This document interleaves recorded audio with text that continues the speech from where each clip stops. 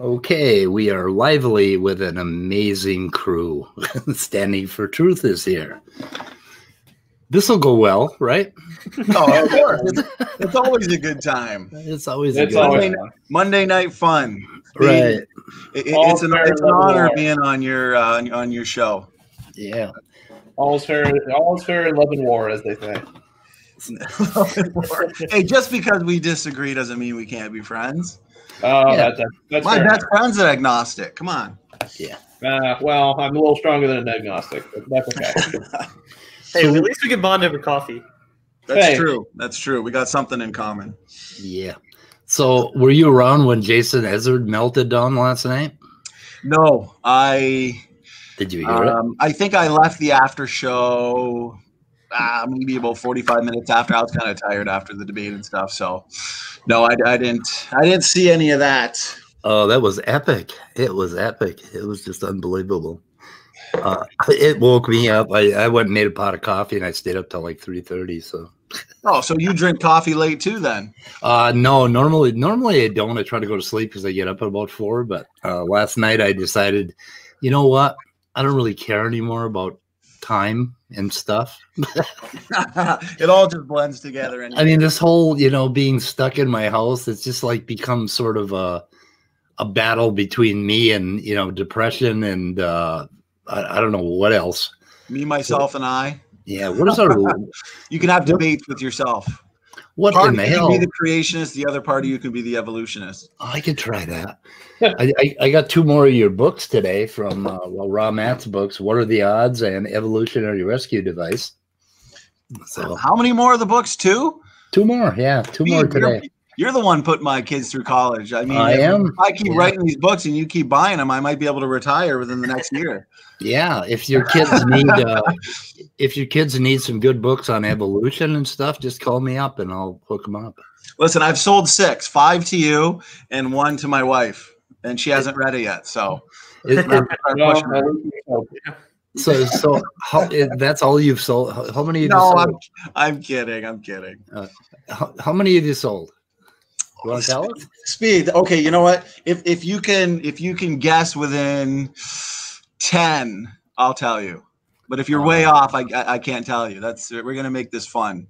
Uh, sixty-seven. Sixty-seven. You're not within ten, but you are pretty close. No, I think it's in the I think it's in the nineties, and I think I think oh, most Oh, of them shit. have been to you. yeah, I, was- going to say ninety-two. You know. Well, you're cl- there. You go. You're close. I don't know. According to Amazon, they're the. I hear they're a little bit off, but yeah, it's it's in the 90s. I don't know if you I don't know if you know it or not, but if you hold down your mouse key on that Amazon one click, it just keeps ordering. so you're saying I could have a thousand sold by the end of the night? Probably could. You Wow, know. that's you know what? I'm I'm, I'm going to be busy tonight. Actually, one thing that's on my mind. So you said you had a pot of coffee at 3:30, but typically you get up at 4:30. I, I had a pot of coffee at twelve last night, and I stayed Oh, up to till keep you up till 3:30, but you slept in a little bit this morning. I slept till seven thirty this morning, which is extremely late for me. So about a four-hour sleep. Yeah, but I had two naps, so I I started taking my cues from my cats. They seem to know what they're doing. Right. Yeah, Right. so they go to sleep. I go to sleep. So you're a cat guy versus a, a dog guy, then, eh? I'm both. You're I, both. Yeah. I- I love Saint Bernards, He's like So 30 you- raccoons. and I have you thirty. have a dog and a cat then? Uh, our, our our our Saint Bernard, we had to uh, let him go about two years ago. He had hip dysplasia. Ooh, His name was Dozer. He was nine years old and he couldn't walk anymore. We had me and my son had to uh, we got a harness for him, and we'd each pick up. It, it had four handles, and we'd have to carry him out. Yeah, it was, and he he just got so that he wasn't enjoying his life anymore. So we had to let Dozer go. It was a horrible thing because he was a young dog, right? Nine years old. Yeah. it's never easy. Oh my god. With us, it's always the same that it just it hurts too much when we put them down. So we always say, you know what, this is the last dog we're gonna get, and within a month or two, we end up getting another one. It's just too hard to live without man's best friend, you know. Yeah. And I love cats too. Unfortunately, the allergies to them. I love them, but within an hour of being around a cat, the eyes, the throat. Yeah, real I s- thing, I 'cause s- they're- they're cute. I sneeze every morning. My cat's just brought a mouse in the house, so oh boy. Yeah, they're- More affection sessions. yeah, and he's uh, he's uh, under this uh, padding I have for my computer, and You just have a dead mouse under your computer. Dinner time. if, Here no, you go, Daddy. No, never gets hungry in the middle of the live stream. Speaking. No, Walker, Yeah. you don't understand. They don't kill the mice. They just carry them in the house and then they chase them around. So if I start screaming like a girl, it's because the mouse ran up my pant leg. Hey, it happens. It, it happens to the best of us. It does. The mouse is looking for the mouse is looking for a safe place. The whole poor damn thing's traumatized, worried it's gonna get killed by your cat. yeah, I know it- it's never going to be the same. If I look down and see the mouse, um, you know, sitting right there, I, yeah, I don't know. I, I'd be s- I'd scream. this coffee would be all over the place. Yeah. I don't know. I'm I'm pretty good around like wildlife, except for like spiders and snakes for the most part. Yeah, snakes. Oh boy, spiders and snakes. Don't get I can't even hold. I can't even hold a snake. They're what? It was about a year ago. We, I mean, where I live, we don't see too many snakes, but we were going for a walk or on, on a trail that that we're around. But a year ago, my daughter would have been three, and then all of a sudden, just some gardener snake came slithering right by, and my daughter was traumatized for the next three days. right. Not fun. Not fun. Yeah. The thing is, like, I remember when I was younger, like you know, okay, you know, you you hold a snake or something like that, and you let it do what it tries to do. It's just the weirdest thing about snakes that annoys me is like they will try to find like whatever position aggravates you the most. Hmm. and just coil themselves around you. Wrapped around your neck. Yeah, Right. and it's like, okay, you could choose anywhere to do it, but you chose my neck. Really? Come on. now, the question is: Would you would you hold one of those anacondas?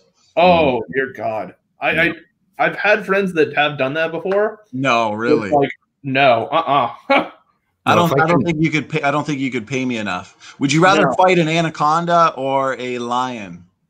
No, anaconda. Oh yeah, yeah. yeah. But but I mean, if, if the snake death, though. if the snake is big enough for me to ride, then I don't want anything to do with it. I don't think think one of the anacondas get pretty big. I think one of the scary experiences I've had with wildlife was um like in elementary school. It's amazing the type of shit they can get away with. So they had like a wildlife per- professional come in. You know, okay, you know we're protecting bald eagles, and you know because the eagles are trying to survive, and people are poaching their nest and all this other crap.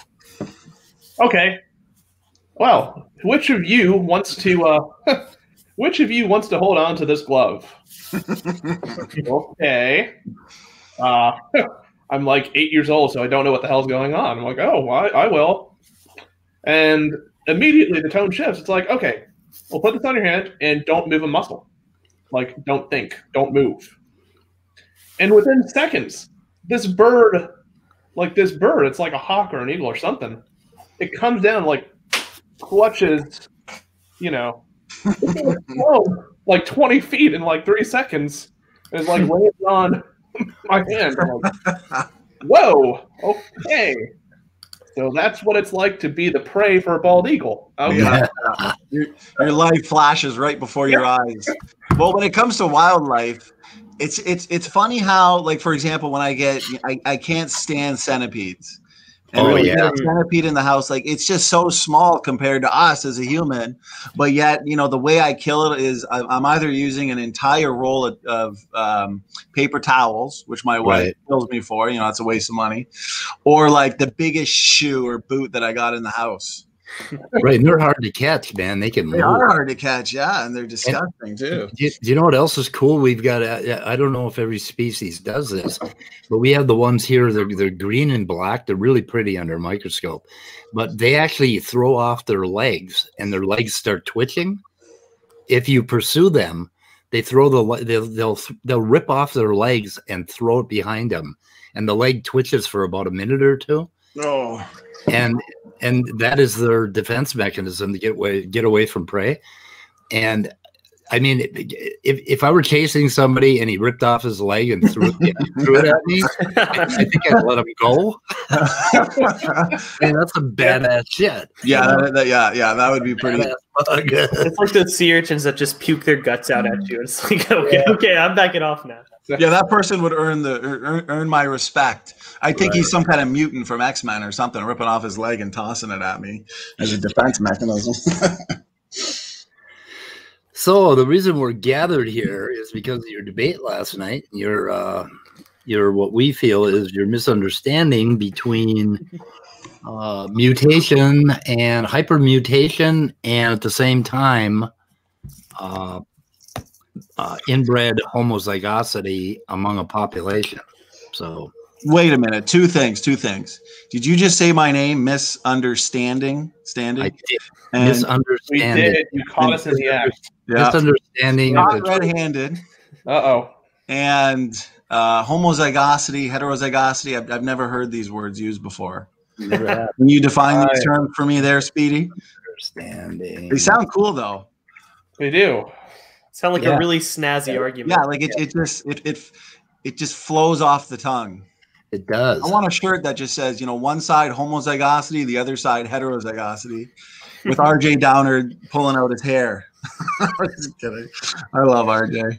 Like one side's a solid color and the other one has like tie dye.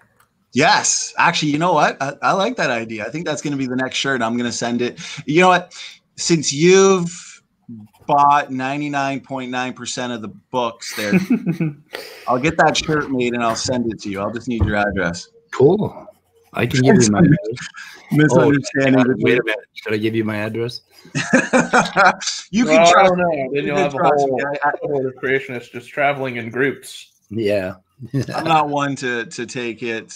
You know, I, I can disagree and debate and discuss, but I, I wouldn't be able to live with myself if I ever um, attacked somebody, attack somebody's personal life. That is, you know what I mean? Like I've never debated somebody to the point where I just hated them, where I just had to mess with their personal life. It doesn't even, it doesn't even cross my mind to be honest. Yeah, as long as you don't give it to to Maddox or Smokey or uh, uh, Jason, Jason Ezard. That that would be frightening. Hey, they love you too. They love you too. So, okay, so um, what what are your thoughts then on the?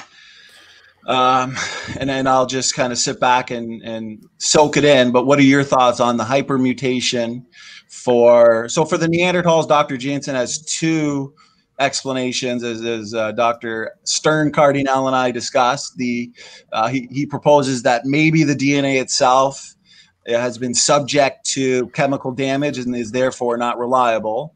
Uh, Dr. Dan and I agreed that it is reliable for the most part. And the second explanation is the hypermutation. So we could just skip right to the hypermutation. Uh, what are your thoughts on that? Why do you feel like it's it doesn't work? Um, and if you want to kind of reiterate Dr. Dan's arguments there, go ahead. I'm I'm, I'm I'm genuinely interested. Okay, if there was a human line, you know, that basically came off of you know uh, point A and went up, and then a branch came out, and that was your Neanderthals, right? That's what you're proposing. Right. Yeah. So you'd have yes. Yeah. And it, when- would be it, it, it would have been a breakaway population, correct? So it would be a, it would be a branch off. And you said something about for timing. You said something around Babel. You know, I I hold a slightly different position regarding the Neanderthal. So I do believe that a lot of the breakaway populations wa- were post Babel when it comes to Homo floresiensis, when it comes to Erectus, Naledi, for example. Um, but I believe Neanderthals, based on their physique and based on how well adapted they appeared to be, I uh, I'm more comfortable saying that they probably broke away from the main population pre-Babel. So I don't think that they were part of the actual Babel event. I think that they were already migrated to Eurasia and Europe, for example. So pre Babel, when when uh, how does Babel relate to the flood in timing? Um, within within I'd say, f- well, definitely within a thousand years after the flood, probably within. Well, let's go with 500, 600 years. Five hundred Okay. years. Okay, so, He's so taking notes. sometime, sometime, uh, so that would be 4,400, probably, uh, maybe 5,000 years ago, the Neanderthals broke off. So 5K, right? So if we're going with the if we're going with the pre pre Babel, then the Neanderthals would have split off Oh, so it would be after the flood, but before Babel. exactly. So if the flood was 4500 years ago, let's say 40 yeah, let's say Neanderthals split away about 4200 years ago. 4.2K. Okay. So then your your idea is that they split off and then all these changes happened to them after that. And they became the brows got bigger and they got beefier and bigger brains, that sort of thing. Yeah, good question. Like I've I've watched a lot of lectures um, from the secular side regarding human evolution and multi-regional theory out of Africa theory, and they all seem to agree. The experts, at least um, the ones that I've watched, they all seem to agree that their physique was influenced by the cold and harsh environments in the like the the ice age um, type conditions, for example. So they all admit that you know the Neanderthals were incredibly robust. They'll say that they were well adapted to not only that environment but various other environments. Actually, they go through. It's very interesting. They go through the skeletons and they show how the striation within the skeletons reflect just how muscular they really were. Um, yeah, so I would say that a lot of their features, though, like especially the robustness and the um, the brow ridges, the, the larger nose, um, they've even said is helps retain heat, for example. So yeah, those would be uh, adaptations via environment, probably. And you believe those happened through mutation or what? Environmental changes, therefore, probably probably epigenetic. You're gonna say the epi word. okay. So you said the epi word. Okay. I know you love that word. Uh, See, yeah.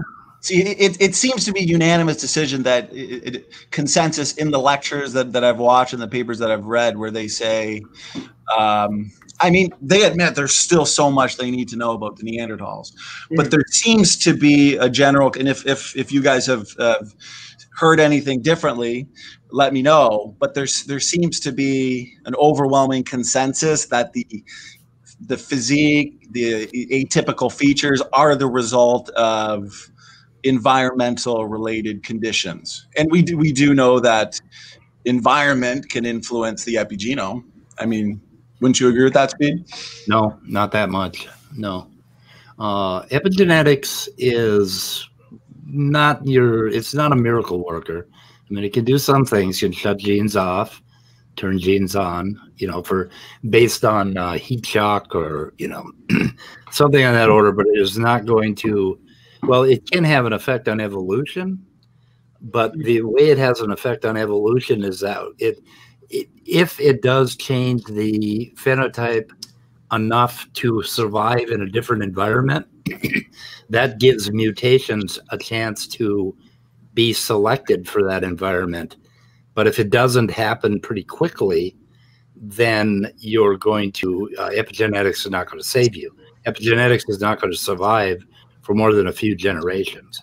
It's going to have an effect. So it's not going to change a population other than through this uh, hypothetical mechanism that they are talking about now that could possibly like behavior before mutation is kind of the kind of the hypothesis but let's set that aside for a moment epigenetics is not capable of changing a phenotype that much not not to the point where you get a big brain if it were every time we uh, went to northern minnesota or you know we'd start to grow bigger right Well, we have to. brains would grow maybe that explains why i'm such a fucking genius That could be it, Speed. We just solved it.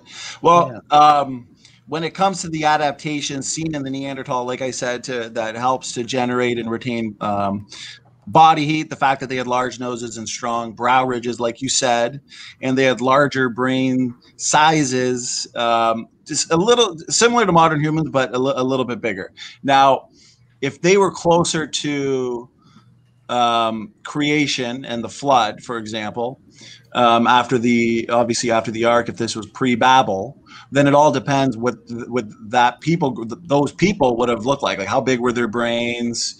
Because um, when it comes to epigenetics, which is just the the study of gene expression, you know, switching um, chemical genetic switches that flip genes on and off. Based on these, I'm not saying it is epigenetic for sure. I'm, i think that there was some influence there based on environment. But how would you explain?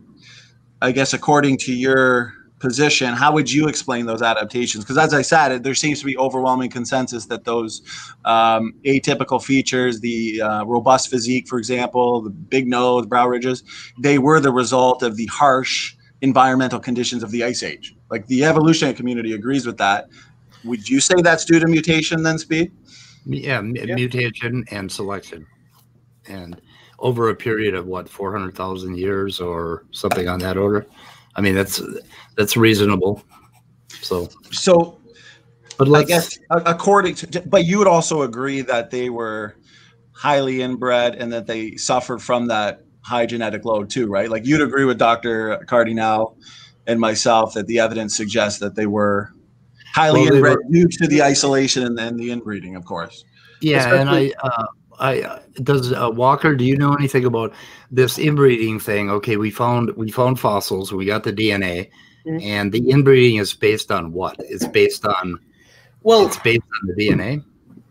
So yeah, yeah, you can you can track like how much inbreeding there is based on the homozygosity um, within populations. But all the the DNA samples we have are from you know late surviving populations, so we can't right. Necessarily right. make okay. assumptions from the early populations I just agree. because yeah. you know it, all the so within the evolutionary time frame, um, all of our DNA samples are from like 30,000 years ago to about 70 or 80,000 years ago. And at that point, they were already coexisting and potentially experiencing pressures from Homo sapiens sapien, as well as um, that this is when the the what is it called? The most recent glacial maximum, or no, not the most recent glacial right. maximum, but this was an interglacial period, right? So they're already experiencing a more or less change of ecosystem uh, and less megafaunal species to predate on stuff like that. Um, and also another thing, I don't have a paper for this, but I remember reading it like a couple of years ago. Um, people theorize that the reason that our species became so prolific comparatively is because we have better social adaptation. So we know that Neanderthals lived in groups of like Smaller 10 group. to 12. Yeah, like mostly familial communities. And of course, when you're living with your family, who are you going to marry? Your cousin. Um, whereas early humans that were moving into Europe usually lived in groups of like 200 to 500, like fairly large, substantial tribes with a lot more gene flow. Yeah. Actually, um, I 100% agree with what you. I think that's a really good point that even I would like to emphasize more. Um, actually, before because I know uh, Speed likes kind of the sources. I, I, I am sharing screens. Uh, Speed, I think you would have to probably approve it. Just a couple of the papers that suggest that they were highly inbred. But what Walker said is actually brilliant in that the sequences we have seem to be of the later, um, I guess, existence of the Neanderthals mm-hmm. during the time when they were the probably the most inbred, during the time when they have the most recessive mutations that have come to the forefront. And because, like for example, this paper right here, I don't know if you shared screen or not, but where it says the Neanderthal genome included harmful mutations that made the hominids around 40% less reproductively fit than modern humans. Mm-hmm. This, like Walker said, probably was closer to their extinction versus closer to when they actually migrated and when they were at their best genetically, if if one could say it that way. So I, I'd actually agree with him on on that one. So it's it's tough to say, how, you know, what were their genetics like prior to the extensive inbreeding and prior to the incredible loss in heterozygosity. So um, I'm, I'm actually going to emphasize that a little more, a little bit more. I'm glad you mentioned that, Walker. Yep. Yeah, I oh, well, you know, do you have any more points on this speed? Uh, I just I, I'm just looking looking at that article that you that uh, yeah, that is a Science Direct article. It's not a paper. Neanderthal. Well, it, yeah, it's it's based off uh, uh, I wonder if I got the paper in here. Let me see. I've got the paper saved as well that I can, if you want to read the whole paper, I can send that to you. Well, this is a okay. This is an article. So the genetic cost of Neanderthal introgression by Harris. So that's Harris, uh, 2016. I think I have that somewhere. Do you? I, th- I think you would. This one a- is I the introgression one I've got up here. Let me see. Let's see. I'm Oh, looking for my looking for my standing and poop flight file folder.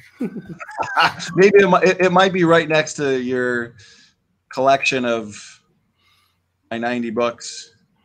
Yeah. Uh, let's see. Well, there's this one where uh, Erik Trinkaus goes into it as well. Um, Ah. You want to talk about that, Walker? I would love to talk about it. Well, I'd love to talk about it too, Stanley. I'm glad you brought this one up. Um, so I've been meaning to do this for like the past week or so, but I was looking it up, and apparently Erik Trinkaus is a professor at my university in a department that I'm involved in.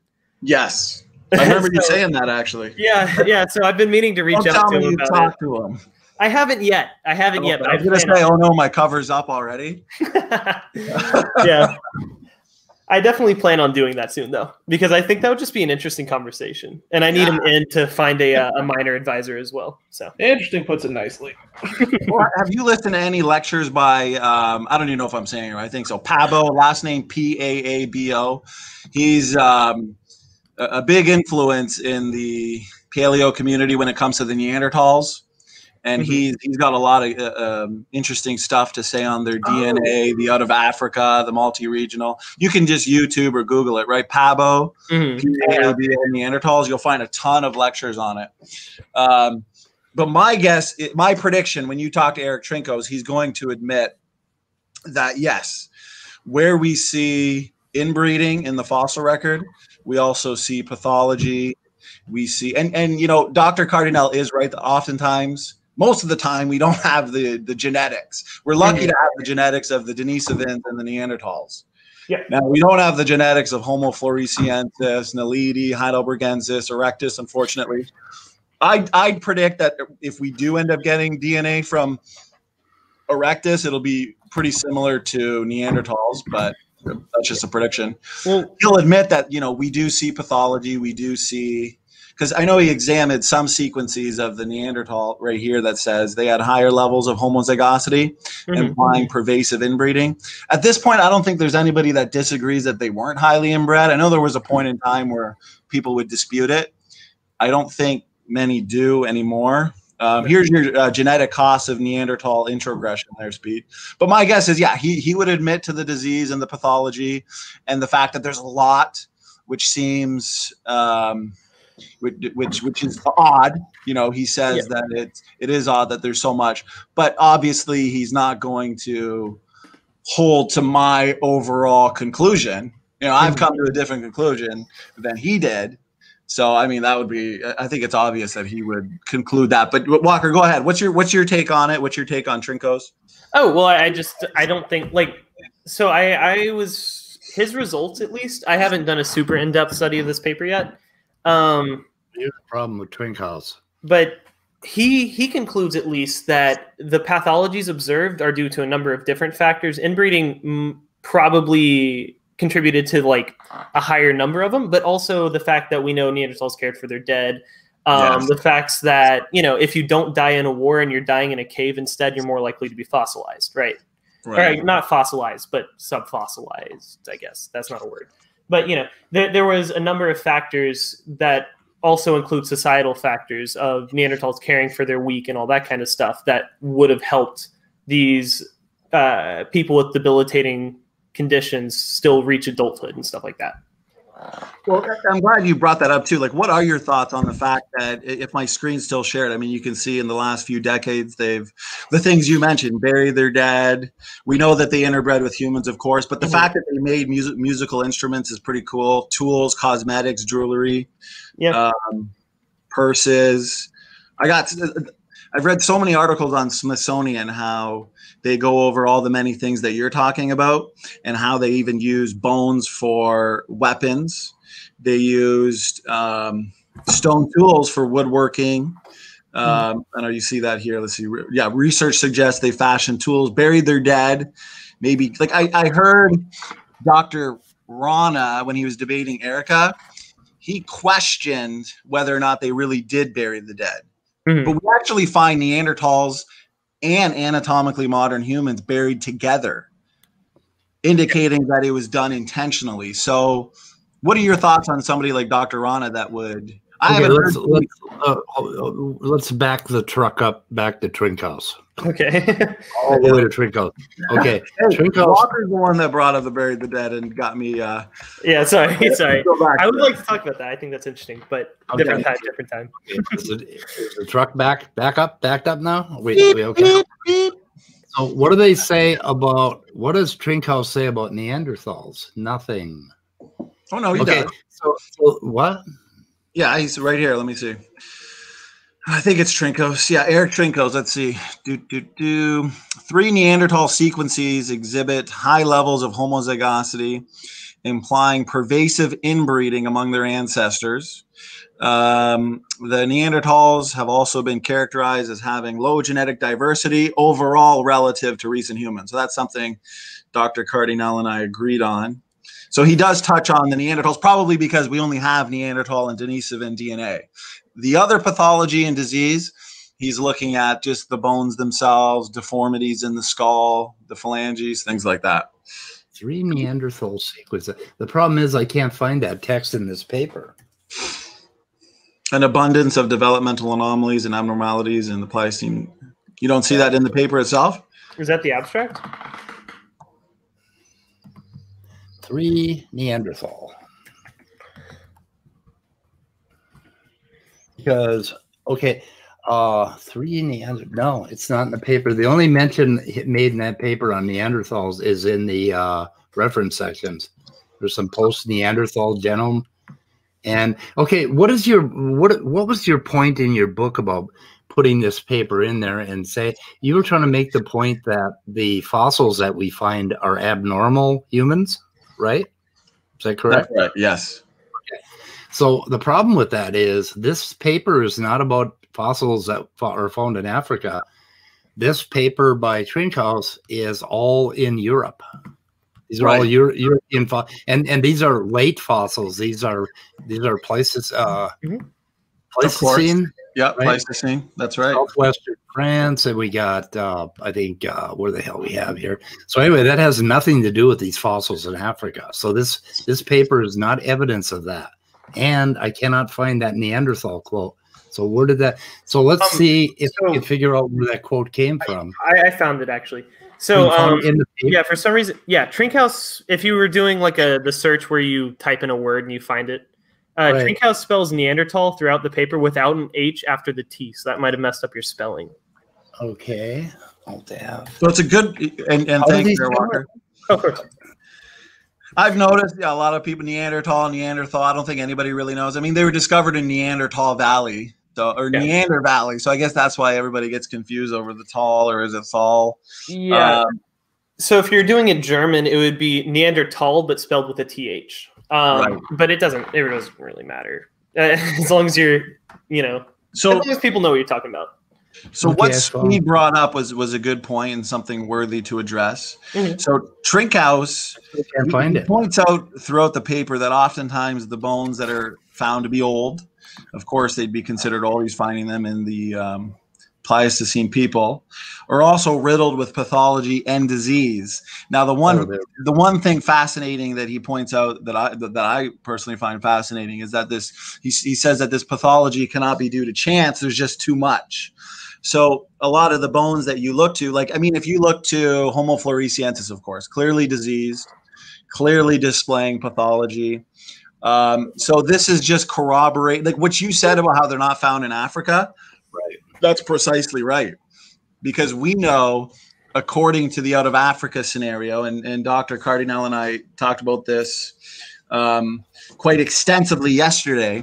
When modern humans migrated out of Africa, lo and behold, they met up with other people group, right? Neanderthals, um, I believe Heidelbergensis, or, or people. I know some people propose that Heidelbergensis evolved into Neanderthals independently, but it looks like that. That's why now they propose a first out of Africa migration with Erectus leaving, a subgroup of erectus leaving and independently evolving into the other hominins in Eurasia, in Europe, for example.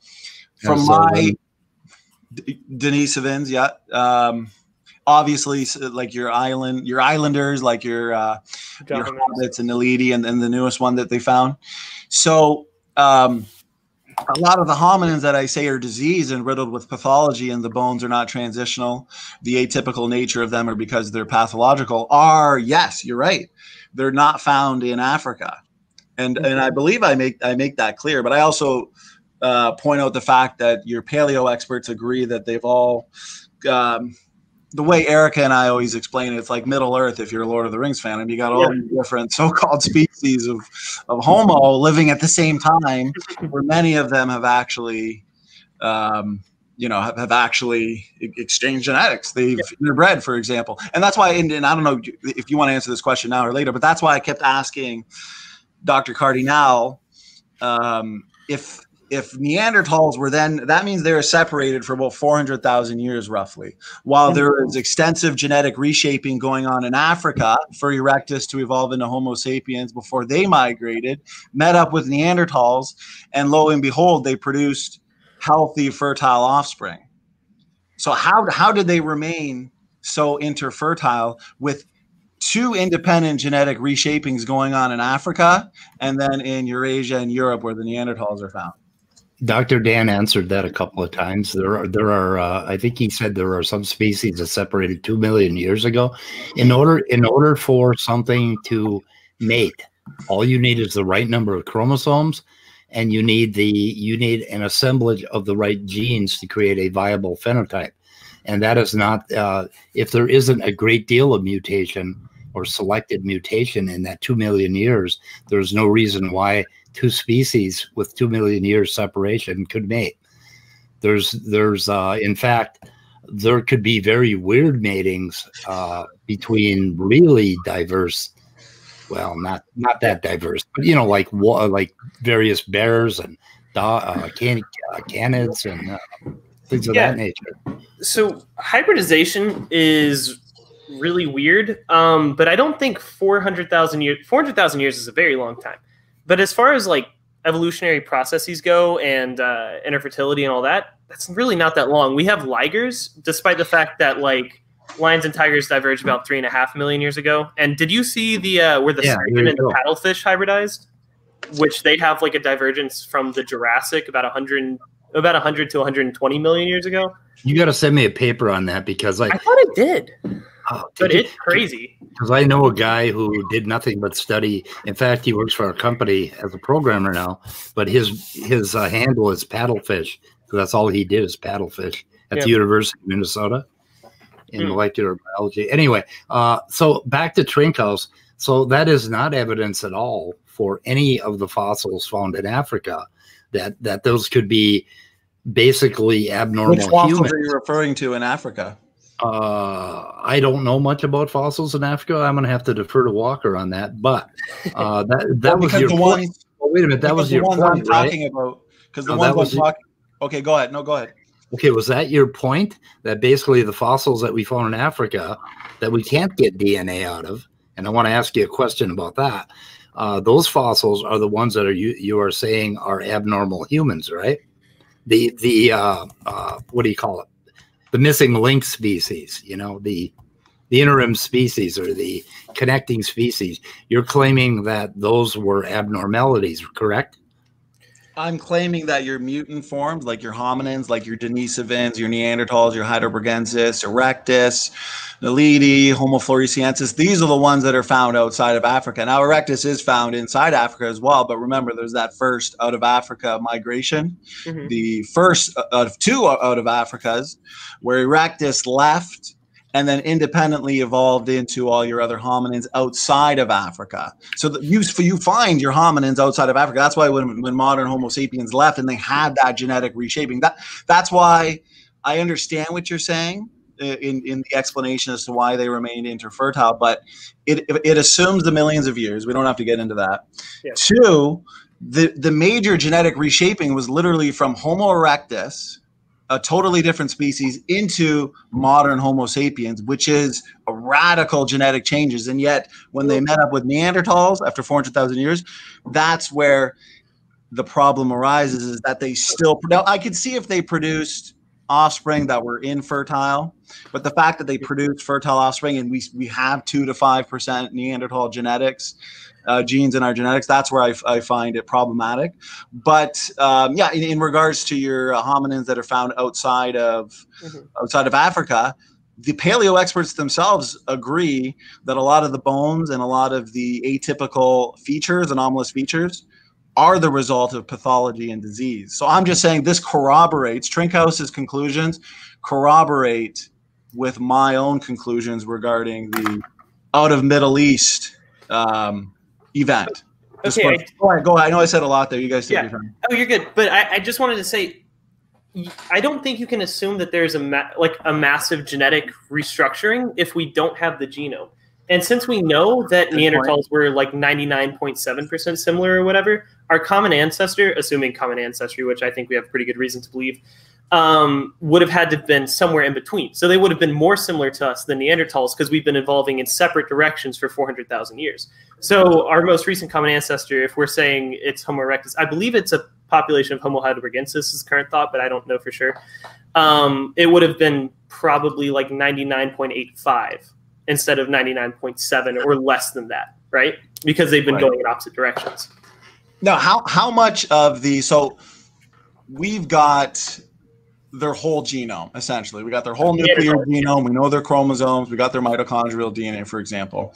Mm-hmm. So um, my my point would be okay. The fact that they are interfertile, the fact that they're still 99.9 99.7 percent similar to modern um, Homo sapiens. And like I said earlier, your Erectus, your Hobbit, your Neanderthals, Denisovans, all these variants of what I say are just a single species, and, and the mm-hmm. lumpers mm-hmm. versus the splitters would agree with that, that they were all just part of one big intermingling, interbreeding meta population. These these facts and these data points that are agreed upon even by the paleo experts for example, they are more consistent with the out of Babel, the out of Middle East theory, because they're only separated by about a thousand years or so. So this makes sense that they've all met up, they've interbred. Wait, wait, wait, wait. only ninety nine point seven percent similar. There's wait, no like far fetched storytelling. That yeah, go ahead, Speed. What, what are your thoughts? You're still claiming that because they broke up 400, because they split 400,000 years ago, you're still claiming that they can't mate, and we're saying that's not true. And I think Walker brought up uh, what what was it? Tigers and lions. Yeah, split three million years ago. Well, yeah, but, and the paddlefish and the sturgeons are. And, and, and, and, that goes into a whole other separate topic and argument that hey, listen. Okay, but but it, basically you don't have cats, con- you don't have a point. Felids really diverge hundreds of thousands of years ago, like is suggested, just like with with the fish, I think you said millions of years. That's where it comes down to the millions of years issue. Is the, it's not like we, for example, all your domestic dogs, Canis domesticus, they've all been what is there about 450? They've all been artificially selected from a couple of generic, uh, probably wolves, I think they say, within the last um, what is it, few thousand, actually within a, a few thousand years or so. Um, are they all interfertile? Are they? Can they all interbreed? All your domestic dogs? Poodle, Great Dane, for example, or your like genetically probably, biologically probably not. because I, I would want uh, for me to have a sufficient explanation and answer to that. I would want to see something today that we know has split and diverged or even been selected for with your breeds within even the in human lifetime recorded lifetime. And let's see if if they can interbreed for example. And then we don't have to assume the millions of years. So if we could prove that all these 450 uh, breed dogs can interbreed and produce fertile offspring then you might have a, a, bit of a point there. You know what i mean? But just going to some divergence between uh, types of fish and uh, what was the other example you used with, with the cats? Well, that's just yeah. assuming the millions of years. Let's, let's look at something let's, let's, let's wait, wait, wait, wait. Let's assume six thousand years then. Okay, we came out of Africa six thousand years ago. They uh, Neanderthals came out of Africa six thousand years ago. Who cares about millions of years? So we mutated faster. Okay, do you want to get to you can't just you can't just use your six thousand year timeline. You have to prove that in another another thread in another talk before you can use that. You can't. We, we are talking about uh, okay. We're presenting to you our model, and we're telling Right. you that in our model there is no problem with two million years apart and something mating, and we're telling you that is the case because of genetics, because of molecular genetics, not because of any assumption of two mil of millions of years. It has nothing to do with millions of years.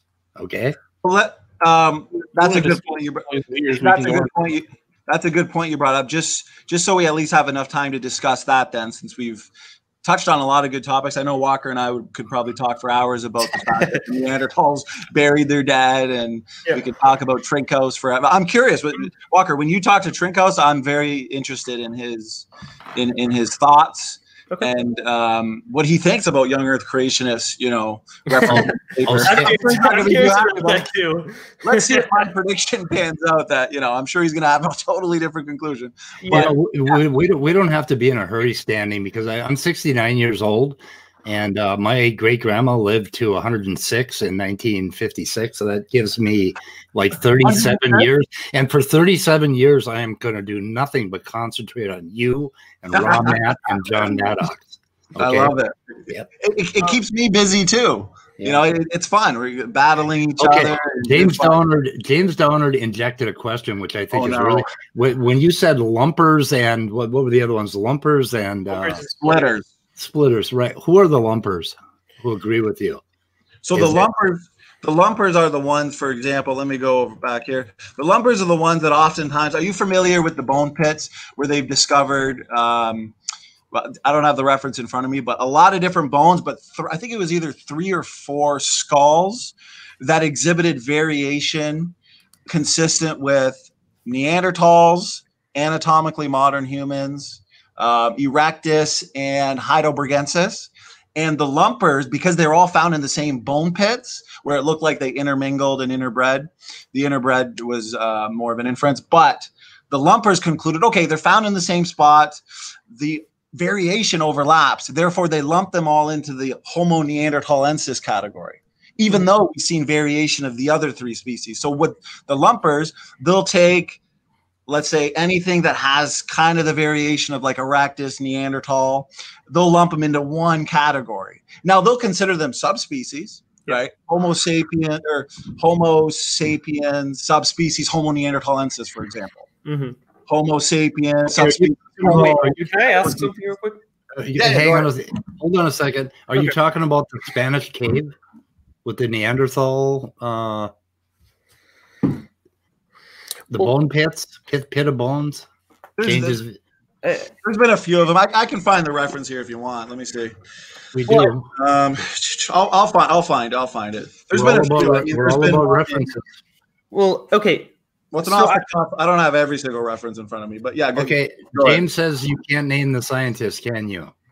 Oh, I can name the I can name the scientist. For example, Pääbo, what I was talking about, he he concludes that Homo neanderthalensis is a subspecies. He what, How do you where's the spell quote? Well, How, how do you spell his Okay. name? So the whole idea here's something that Dan Go was ahead, Mark. talking about the other day. The whole idea of species doesn't really work biologically. It's more lineage. Like I could find a lumper who would group us with genus Pan, right? Like call us Pan sapiens. And, and that doesn't mean that like we're, we're still an independent lineage. And Okay. taxonomically that's valid, right? I I, I didn't know that. You, is there really lumper? I'm not. I'm not opposed to it, but are there some lumpers that go that far? Yeah, yeah. There's argument. There's people who argue that we should be grouped with chimpanzees and bonobos, but not, I, can't say I'm surprised, but yeah, the lumpers oftentimes do go. Yeah. Well, it's like what, what you're what you're saying here, um, where it says has led some anthropologists to claim Homo neanderthalensis should be considered a subspecies of Homo sapiens rather than a separate species. Yeah, those would be your, your splitters are just looking at any little bit of morphological variation and claim it's a different species. But it's it's kind of hard with the fossil record because, as Dr. Cardinale said, we don't have the genetics. And Yeah. we know that there's a lot of overlapping variation. Yeah, he's, Yeah, I have a question yeah, there. this guy has a chin, but he's also got the he's got the if if just that skull cap of him was fossilized and we didn't have the actual chin and everything else to corroborate with it, they may conclude that this is uh, you know more of a, a Homo neanderthalensis. So with with fragmented bones and no genetics, Well, sometimes wait, it's wait, wait, wait. So are you saying that not having the complete like skeleton of a uh, or like the complete fossil of a um, like of subhuman species are insufficient to categorize them as different species or No, well, I mean that's why there's the type specimen, right? The one that they compare all the other finds to to conclude, you know, what species does this belong to. But a lot of times you do find isolated bones, like just skull caps, where they say, okay, this this um, morphology seems to be most consistent with Homo neanderthalensis. Therefore, this, and then they compare it to the type specimen. Therefore, conclude. So a lot of times, yeah, it's just like if you look at a, a full skeleton of a Neanderthal or I mean, you name any one of the hominids.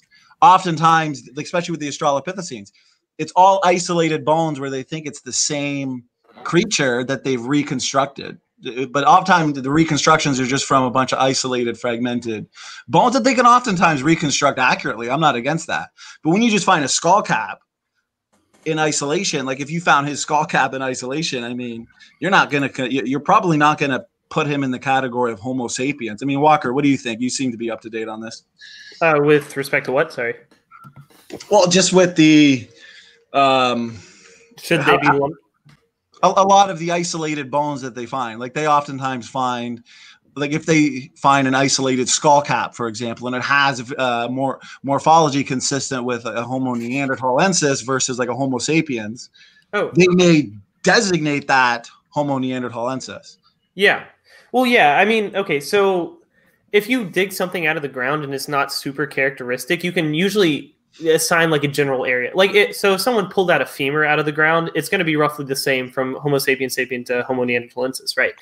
So at that, they probably wouldn't try to designate a species. But if they found a skull cap or a jaw fragment or something like that, then yeah, they would probably consider that valid enough to designate into uh, Homo neanderthalensis. If you guys want to make a few more points, I am going. I'm looking for the pit of bones that he's. Yeah, the pit of I- bones I and the think- name name of that Pääbo or whatever. We we want that. Did I spell that right? Can you Well- spell it for me? Okay, um, I think I believe. See, there's been many. The one that I'm specifically referring to is, um, I believe the variation seen in it was Neanderthal erectus, I think Homo sapiens for sure, and I think Heidelbergensis. But it was in 1992. Um, the team was led by Juan Luis Arsuaga. The pit of bones, I believe, Sima de los Huesos. I'm probably butchering that. Can, But can you I put those Okay. put those in chat so we have? Yeah, I'll put it in the chat. Oh, yeah. By the way, I've been any paper I've mentioned, I've put it in the private chat. Um, Okay, Let me do that right now. You guys, you guys keep talking and me, and then hopefully we can get to the hypermutating because it seems like that would be the biggest point of contention. I definitely want to be Yeah. around for. Well, Okay, go ahead as I type this in. Okay. Well, I was just going to say my biggest point of contention is kind of related to this, but I, I don't think whether you want to lump them or split, like lump them into the same species or split them species on species basis, is kind of irrelevant as to whether Neanderthals are an outgroup, right? So even if you find someone who lumps them within Homo sapiens, they would still be considered an outgroup to all living Homo sapiens. Well, I mean, what's your de- what's your best definition of? Because it's it's so weird because Dr. Cardinale, um, from all the people that I've debated and discussed with, and the people that I've even heard Kent Hovind debate, they always define species in a way that would suggest all your a lot of your hominids would have to be hominins, I should say, would have to be one species. But now Dr. Uh, Stern Cardinale, now he he admits that the species term, the idea of species, is arbitrary Yeah. and therefore now he doesn't have to lump them in together. But Well- he he he almost seemed like an exception to the rule from just my experience, though. I'm not trying to put words in your mouth. Like, No, what would be your best definition of species? No, we don't talk about species so much as uh, clades and in, in relationships. Yeah. So I, I think the the concept of species, and at least in the way that we define it, is very centric on us, right? Clades get smaller and smaller as you get closer to us. You know, you, you start with like I I recently found a paper. You know, um, two two species within the coelacanth genus Latimeria are separated by 40 million years. and the there's one species, the Indonesian coelacanth, with two subpopulations that are separated by 13 million years, right? If we're going by that, then we should be the same species as gorillas. You know, It- as you get closer to Homo sapiens, the requirement for something to be designated as a species shrinks like dramatically. Um, so I think the the concept of species it's useful for so that we know what we're talking about, but that's not as important as the lineage itself and where that lineage diverged from other lineages that are related. Right. Um, so what uh, I, I typed it in. I'm pretty sure this is the one. I've got a ton of sources here. I believe that's the one. Look it up, and there should be. Let me see. It's it says Stringer decided to classify all the diverse skeletons as Neanderthals, and he he said, let me see. In spite of all the variation they display, they get sucked in with the Neanderthal. Once that happens, it becomes very difficult to pre- prevent the rest of the European material from getting sucked in as well. Mm. And that is lumping in, yeah, like I said, Erectus, Heidelbergensis, Neanderthals, Homo sapiens.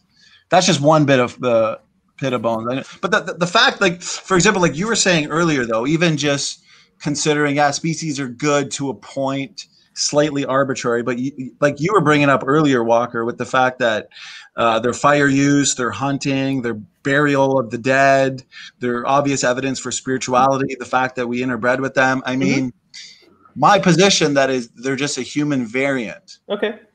Yeah, well, I, I would agree with that. Far fetched. Like, what? What's your, like, you know, just just given everything we know about them from different lines of evidence in different fields, is that because uh, if they were living today, I'd almost be uncomfortable pointing at a Neanderthal and saying, "Hey, you're a different species." I mean, everything we mm-hmm. see regarding them seems they were they were spiritual beings. They were, you know, what are, what are your thoughts on that? Would you be comfortable saying, "Hey, you're a different species" if they're alive today, just as you would be comfortable looking at them in the fossil record and saying, "Hey, you're uh, a, um, a different species"? Go ahead, Walker. I, I think if they were alive today, our definition of Homo sapien would be broader, right? We would include Okay. their lineage Yeah. within Homo sapiens. Um, I, I think they would fit most definitions as a human variant, but like I said, that that's kind of obfuscating the point that they're an outgroup to any living humans. Like we're closer related to the Khoisan people, which are generally considered the the most genetically distinct, right? Yes. So we're closer to Khoisan people than anybody would be to Neanderthals. Neanderthals are not part of any known mitochondrial haplogroup within our clade, right? They're they're a lineage that diverged before Right. our last common ancestor.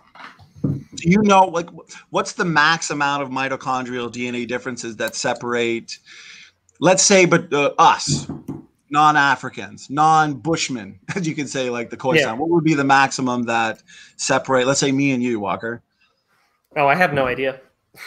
Probably pretty small because we'd both be in haplogroup L2, I believe, which Like- is pretty tiny. I'm gonna I'm gonna post a lecture you guys would really enjoy it it's okay it's let me see. I got it right here. It says what DNA says it's not creationist or anything like that don't worry. It says what DNA says about our human family.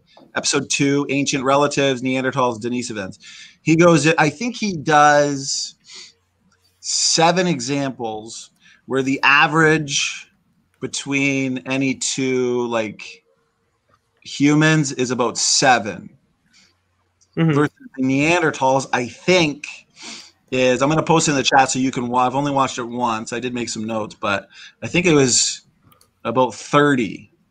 Yeah. Which means, according to evolution, yeah, the differences reflect, you know, like that that that nested hierarchy. For example, we are more similar. We have uh, fewer differences with the chimpanzee than we do with the old world monkeys because of time of divergence. You know, Yeah. we share a more recent common ancestor with the chimpanzee than we would with an old world monkey, than we would with a dog and a fish. So those differences, that's why they oftentimes look at those highly conserved mitochondrial DNA proteins, which natural selection preserves because they're important, important functional roles. Therefore, those differences seem to be consistent with times of divergence consistent with the nested hierarchy of evolution. So you're saying the Neanderthals were more similar to the Khoisan peoples and the Africans than we are to the, the Neanderthals. Therefore, we share more of a uh, common ancestor, obviously, with the Africans in the out of Africa scenario than we do with the Neanderthals. The Neanderthals go even further back than uh, non-Africans, Africans, and Neanderthals. Is that more or less uh, correct? Yeah, yeah, no, that's that's right. Um, but I, I think one minor confusion is the fact it's not just the number of differences; it's what those specific differences are. Yes, the Right. genetic markers. Yeah, yeah, yeah. So the the single nucleotide polymorphisms, right? So Right. if our you know 100th great ancestor had a specific mitochondrial mutation, they would have passed it down to all subsequent descendants if it's not subject to uh, or selection pressures, obviously. But so what we're looking at are so we have single nucleotide polymorphisms on Neanderthal genomes that are in that are also held in common with chimps, but not with us, right? And the chances that that would just be a back mutation are very small. And the fact that they're so frequent throughout the genome makes the the p value like infinitesimally high. We we would have to have a z score of like thousands for them to not be nested outside of us. Right. So you, now the single nucleotide polymorphisms, actually, for what you said with the divergence, you're hmm. right. It, it's not the amount of differences; it's it's the genetic markers that would more so differentiate. The you know the, the the genetic markers is the best way to put it. So you did explain it. Um, you did explain it good there. The SNP. So right now you're looking with the genetic markers you're specifically looking at. Are you looking in the nuclear DNA or the mitochondrial DNA? Okay, so I was looking for a paper earlier today. I didn't have that much time to look for papers. I was kind of busy today, but I did find one, but it, it focuses on nuclear DNA more so than mitochondrial DNA. Um, but I think it still shows the point. Speed, could you share the screen real quick? Uh, yeah. Um, Okay, so can everyone see that? Yeah. let's see. Yep. Where is? Uh, I got to find out how to shut down RJ's. Okay, got it. Yeah, so this is mostly just a graphic. It's from a paper. I can link the paper. Um, but this is just, you know, four bases from the gene HAN or HACNS1. I don't know what it does. Um, but a- as you can see from the graph, I didn't mean to click on that. As you can see from the graph, the chimps share a uh, on position four a base in common with Neanderthals, but not with humans, right? And so there's, let's just say, a one in three chance, assuming all mutations are equally likely on that spot. There's a one in three chance that they would have a back mutation towards what the chimps have, right? And, and if we find 20 of them, it would be one in three to the 20th power that the chances of all of these being back mutations. The chances of that happening are just non existent. So here's and I, I like how you're up to date on all this, Walker. It makes it fun to talk to. So give you a Thank you. compliment for that. Now, I try my best. because because we're looking at the nuclear DNA, though, Mhm. and you've heard me say this before, that means created heterozygosity would apply, and that means since Neanderthals would have had millions of created differences, when we're looking at the differences that the evolutionists assume are all the result of mutations over time, millions and millions of years of mutations. Therefore, according to, as you know, the created heterozygosity model, we would still predict some form of nested hierarchical patterns in the DNA. So it makes it kind of difficult in the nuclear DNA versus the mitochondrial DNA, which is a lot smaller. It's only about, what is it, 16,000 letters long or so. Um, and it's consistent because it's uniparentally inherited. You know what I mean? It's not biparentally inherited where you're subject to recombination and all of this, all of this mess. So are you pretty much pointing to kind of like a hierarchical pattern in the distribution of the SNPs and the rarity of, of back mutations occurring to be consistent with that? Yeah, yeah, pretty much. I the the back okay, so I'm just trying to say that the single nucleotide polymorphisms are the SNPs are more closely correlated with a pattern that places Neanderthals as an outgroup to Homo sapiens than Right. nested within Homo sapiens. Right, right. And So- I will admit, I Oh, wish I had a. Oh, I was just going to say, I was trying to find a paper on mitochondrial DNA. I could not find one. If I find one, I'll definitely send it to you. Because Dan's biggest problem is is is the nesting, of course, but Mhm. also the hypermutation hypothesis, where he Yeah. believes, and, and I, I believe you're in accord with that, that the hypermutation hypothesis is inconsistent with what we know about the inbreeding nature of the Neanderthals and the low, low levels of heterozygosity. So there's a lot of homozygosity in the Neanderthal nuclear genome. Mhm. And that's, that's, that's where they discovered the homozygosity and the evidence for inbreeding was in the nuclear genome, from my understanding. Uh, Would you agree with that? Is that kind of what you found too? Yeah, yeah, I would agree that that's one of the problems. Um, I, I No, think I'm, I'm saying, would you agree that it's it, the nuclear genome itself being so vastly larger than the mitochondrial uh, DNA compartment? That's where we find the most significant evidence for the inbreeding and the Oh. levels of homozygosity. I do not have any papers, so I can't say yes, but that seems like it would be accurate because nuclear DNA is diploid. So, Um, but I don't know. so the hypermutating hypothesis, uh, because it seems like this was the major contention of the debate itself, that the hypermutating hypothesis is inconsistent with the inbreeding nature of the Neanderthals because hypermutation would lead to more genetic diversity, and yet we know the Neanderthals are less genetic diverse. Yeah, that's pretty good. Yep. Summary. Right. So why do you believe that that what like? So I- I think I reiterated it good, but do you guys want to expand on it a little bit and explain why you believe that there's Excuse me. there's no way to um, combine the two or, or show any consistency with the two? Like the, the, the floor is yours if you want to. I'm, I'm curious. Just you know, give me your thought because that seems like that's the major point of contention. Is hey, listen, you, you can't combine the two. They're mutually exclusive. Is is what D- Dan Cardinale was saying. Yeah, pretty. uh, hypermutation is going to lead to a, a highly heterozygous population, basically a diverse population, and that isn't what we saw in Ne- Neanderthals. So there was no indication that there was hypermutation. There was indication that there was inbreeding, which would end up with uh, a lot of homozygous alleles. So that is the point. Those two things don't go together. And the other thing is, you kept misunderstanding Dan when he said diverging, that they diverged. You kept thinking he was talking about diversity. And he may have used the wrong word at some point. I haven't got the transcript yet, but he was talking about divergence, not diversity. Okay, diversity is what you would get if you had a hypermutating population, like Lenski's bacteria. A lot of a lot of the strains were hyper mutating. So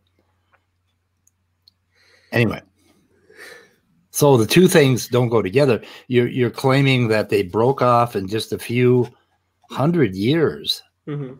That they broke off and they hyper mutated into neanderthals of course you have your epigenetic rescue device but it just doesn't make any sense and the other problem with it is that dr dan was trying to tell you that if there was a common ancestor uh, if if the common ancestor were, were was the human branch that you're looking at, then the genetic markers from the human branch would have had to be lost on the Neanderthal branch. And then we would have to gain our own genetic markers after the split, after Babel or uh, right, right before Babel. And none of that made any sense.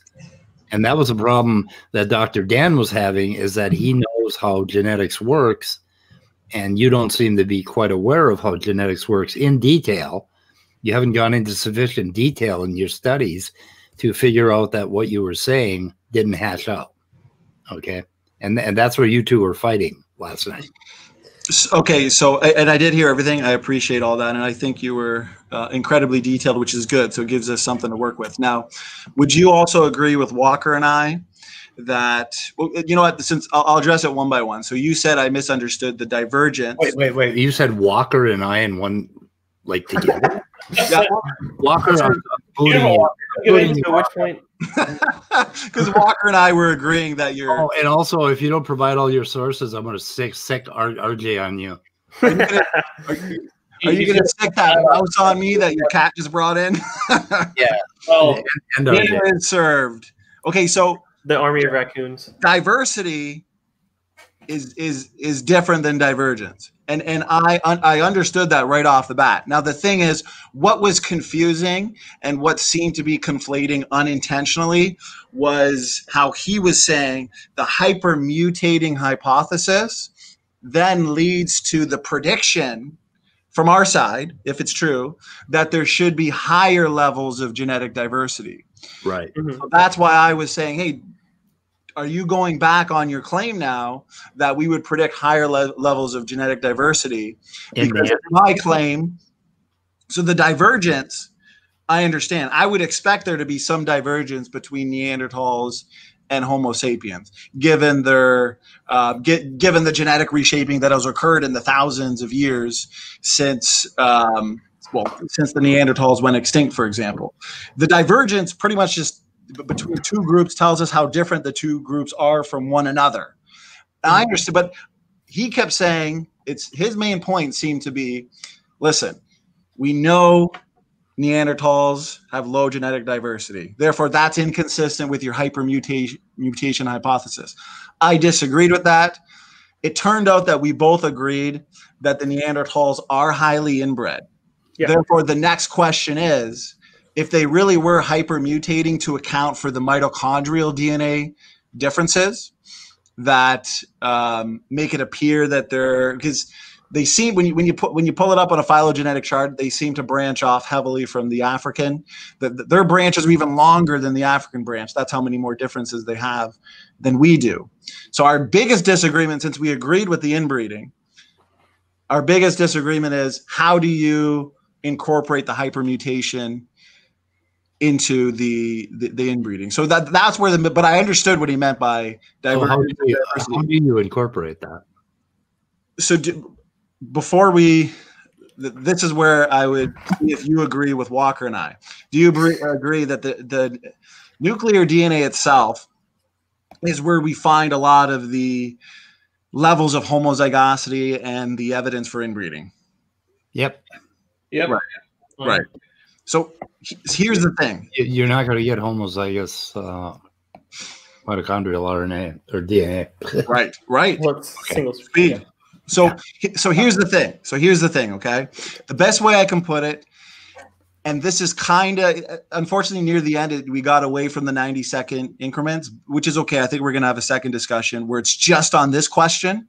But the hypermutation would have a big effect on, let's say, your mitochondrial DNA, your Y chromosome, because those are uni parentally inherited DNA, as we would agree. The mitochondrial DNA we, we inherit almost exclusively from our mothers, Y chromosome from our fathers. I don't think anyone's going to disagree with that.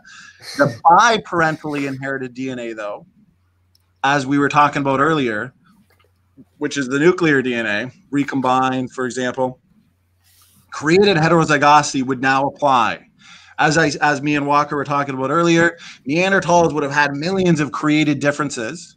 What this means is the corresponding increase due to the hypermutation would be virtually undetectable in the nuclear DNA because because of the uh, incredible amount of inbreeding. But by far, speed, the greatest impact would be, as I said, due to the levels of inbreeding. That means it's entirely plausible to have biparentally inherited DNA be less diverse, which we agreed with. We spent most of the, the debate on that, but we agreed with it.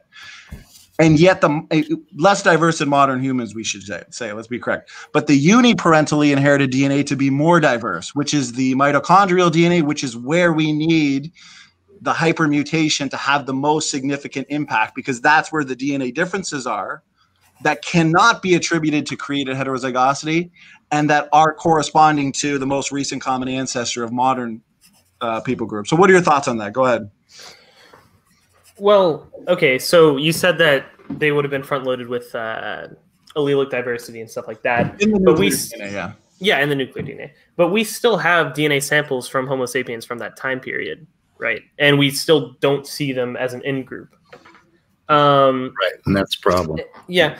And, and another thing is Yeah, but you're looking at So- created heterozygosity. So you're looking at nuclear DNA markers because because now we're talking about the mitochondria. So are you saying the mitochondrial DNA? Because I want to know why you believe that the hypermutation is inconsistent. I, I get what you're saying about the the phylogeny, the phylogenetics, where they yeah, well, that was Right a separate we- point, but yeah. yeah. So so just the hypermutation. Why do you believe that they are inconsistent with each other? Because as I said, the inbreeding would be your greatest effect in the nuclear DNA. Okay. The hypermutation would be almost undetectable. But yet the mitochondrial DNA, which is only 16,000 letters long, this is where there would be the most significant impact. And therefore, both can be consistent. Yes, you have hypermutation in the whole genome, of course. Of course, mm-hmm. you have hypermutation in the whole genome. But the nuclear DNA, the size of it, the recombination that occurs in it, combined with our position of created heterozygosity, those mutations would be virtually undetectable, but not undetectable in the mitochondrial DNA. So that's how they both can. Dr. Dan says they're they have to be mutually exclusive, when in fact that's not the case. And I'm glad that we ended up agreeing that the inbreeding is um, is observed. But yeah. now we have to go into the mitochondrial DNA. And that's where the hypermutation is going to have the most significant impact. So, like, what would be your objections to that? So how long? Oh, okay, you think the Neanderthals split off four four thousand two hundred years ago from from Adam and Eve, the Adam and Eve line, or the Noah line? Okay, so it uh, when did they go extinct? The Neanderthals. Yeah. So they would have went extinct. So, you, uh, like I said, my position on the Neanderthal is a little bit different than the other hominin. So it would have been pre-Babel. Okay, so they split off. They adapted to your ice age related conditions, har- harsh environmental conditions. But what I what I say about the Neanderthals being closer to the initial flood event and creation, their genomes at that time, kind of like Walker said, the genomes we're looking at now, the sequences we have now, they are kind of nearing the end of the Neanderthals' existence, probably a time where they had the most inbreeding, the most mutational load. You know, when, when was that? When when was that? How long did the Neanderthals last after they split? From good, uh, Noah lineage. It's it's a good question, but so if if they were close, if, they, if they split off closer to the creation event and the flood event, at that point, which I don't believe we have their genetic sequences, as, as Walker and I agreed about, their genomes would have been less um, their genomes would have been more heterozygous, less mutational load. They wouldn't have had incredible inbreeding. The inbreeding occurred after the migration pre Babel, and the accelerated genetic degeneration would have occurred for one. You've got superior genomes that are now uh, experiencing harsh environmental conditions combined with the uh, with the inbreeding itself, bringing to the forefront lots of genetic mistakes. So that would have happened rapidly. It would have been rapid, accelerated genetic degeneration. How many years exactly? So pre Babel, um, the flood, 4,500 years ago, probably within a, uh, 1,500 years or so after the flood. So that would uh, okay. So, but they split off, okay, the flood was 4.4, so 4.2. So if they lasted for 1,300 years, let me grab a pen too. We're at 5.7 thousand years now where they went extinct. That's only 2,900 years ago that you're claiming the Neanderthals went extinct. So let's see. So we got, just wait, let, I'll, I'll do the, so we got 4,500 years since the flood. Okay. No, actually, you said they split off like. Right, right, yeah, yeah. I'm just, I'm going to start writing it down to, instead of just kind of throwing guesses out there. So we got 4,500 years since the flood. Let's say another 500 to Babel which means uh, Neanderthals, let's say 45,000. How many years did you say? 2,200? They've probably been extinct for about 3,500 years. Uh, wait, wait, that only that means they have 700, 700 years, to, years to live and mutate. Since the flood, 4,500, they branch off within the next 300 years. It's it's tough to say because a lot of like even the paleo experts will agree, like your um, like Floresiensis. Once you get those that small tribe, that population that's in that's inbred, due to founder effects, uh, inbreeding depression, for example, rapid mm. genetic decline can happen quick. So I don't know how rapid it happened, but I always use this example. You guys don't have the assumption of uh, superior genomes, of course, so that's fine. But I always use the example that if I'm on a purely alkaline diet and I haven't had McDonald's or fast food in years, okay, for example, and then all of a sudden my body's not used to the, that chemical garbage and I start going like if you've ever seen the movie Supersize Me, that guy had McDonald's three times a day for a few months and he declined rapidly. That imagine the Neanderthals, which had it is, it is brow ridge branch stopped. okay, I think if the brow ridge was prior. I, I do have a I do have a question. So I mean, are are you claiming like that the primary source of genetic deterioration would have been due to like excessive inbreeding within the population? Yeah, yeah, I, I think it, it it accelerated because like Walker said, the sequences we have now would have been at a point where the Neanderthals were the most inbred and genetically compromised. But I don't Okay. believe they were originally like that. So yeah, the, the most of it would have been harsh environmental conditions combined with the inbreeding, which brings the because Dan is right, inbreeding itself doesn't really increase the mutation rate. It just brings recessive mutations to the forefront. Now there are some deleterious mutations uh, that are disease causing that I, that I was reading about that if they come to the forefront, they can, as a result, increase mutation rates. But this is an exception to the rule. So the yeah, so environmental conditions uh, combined with the inbreeding would have resulted in the rapid, rapid decline.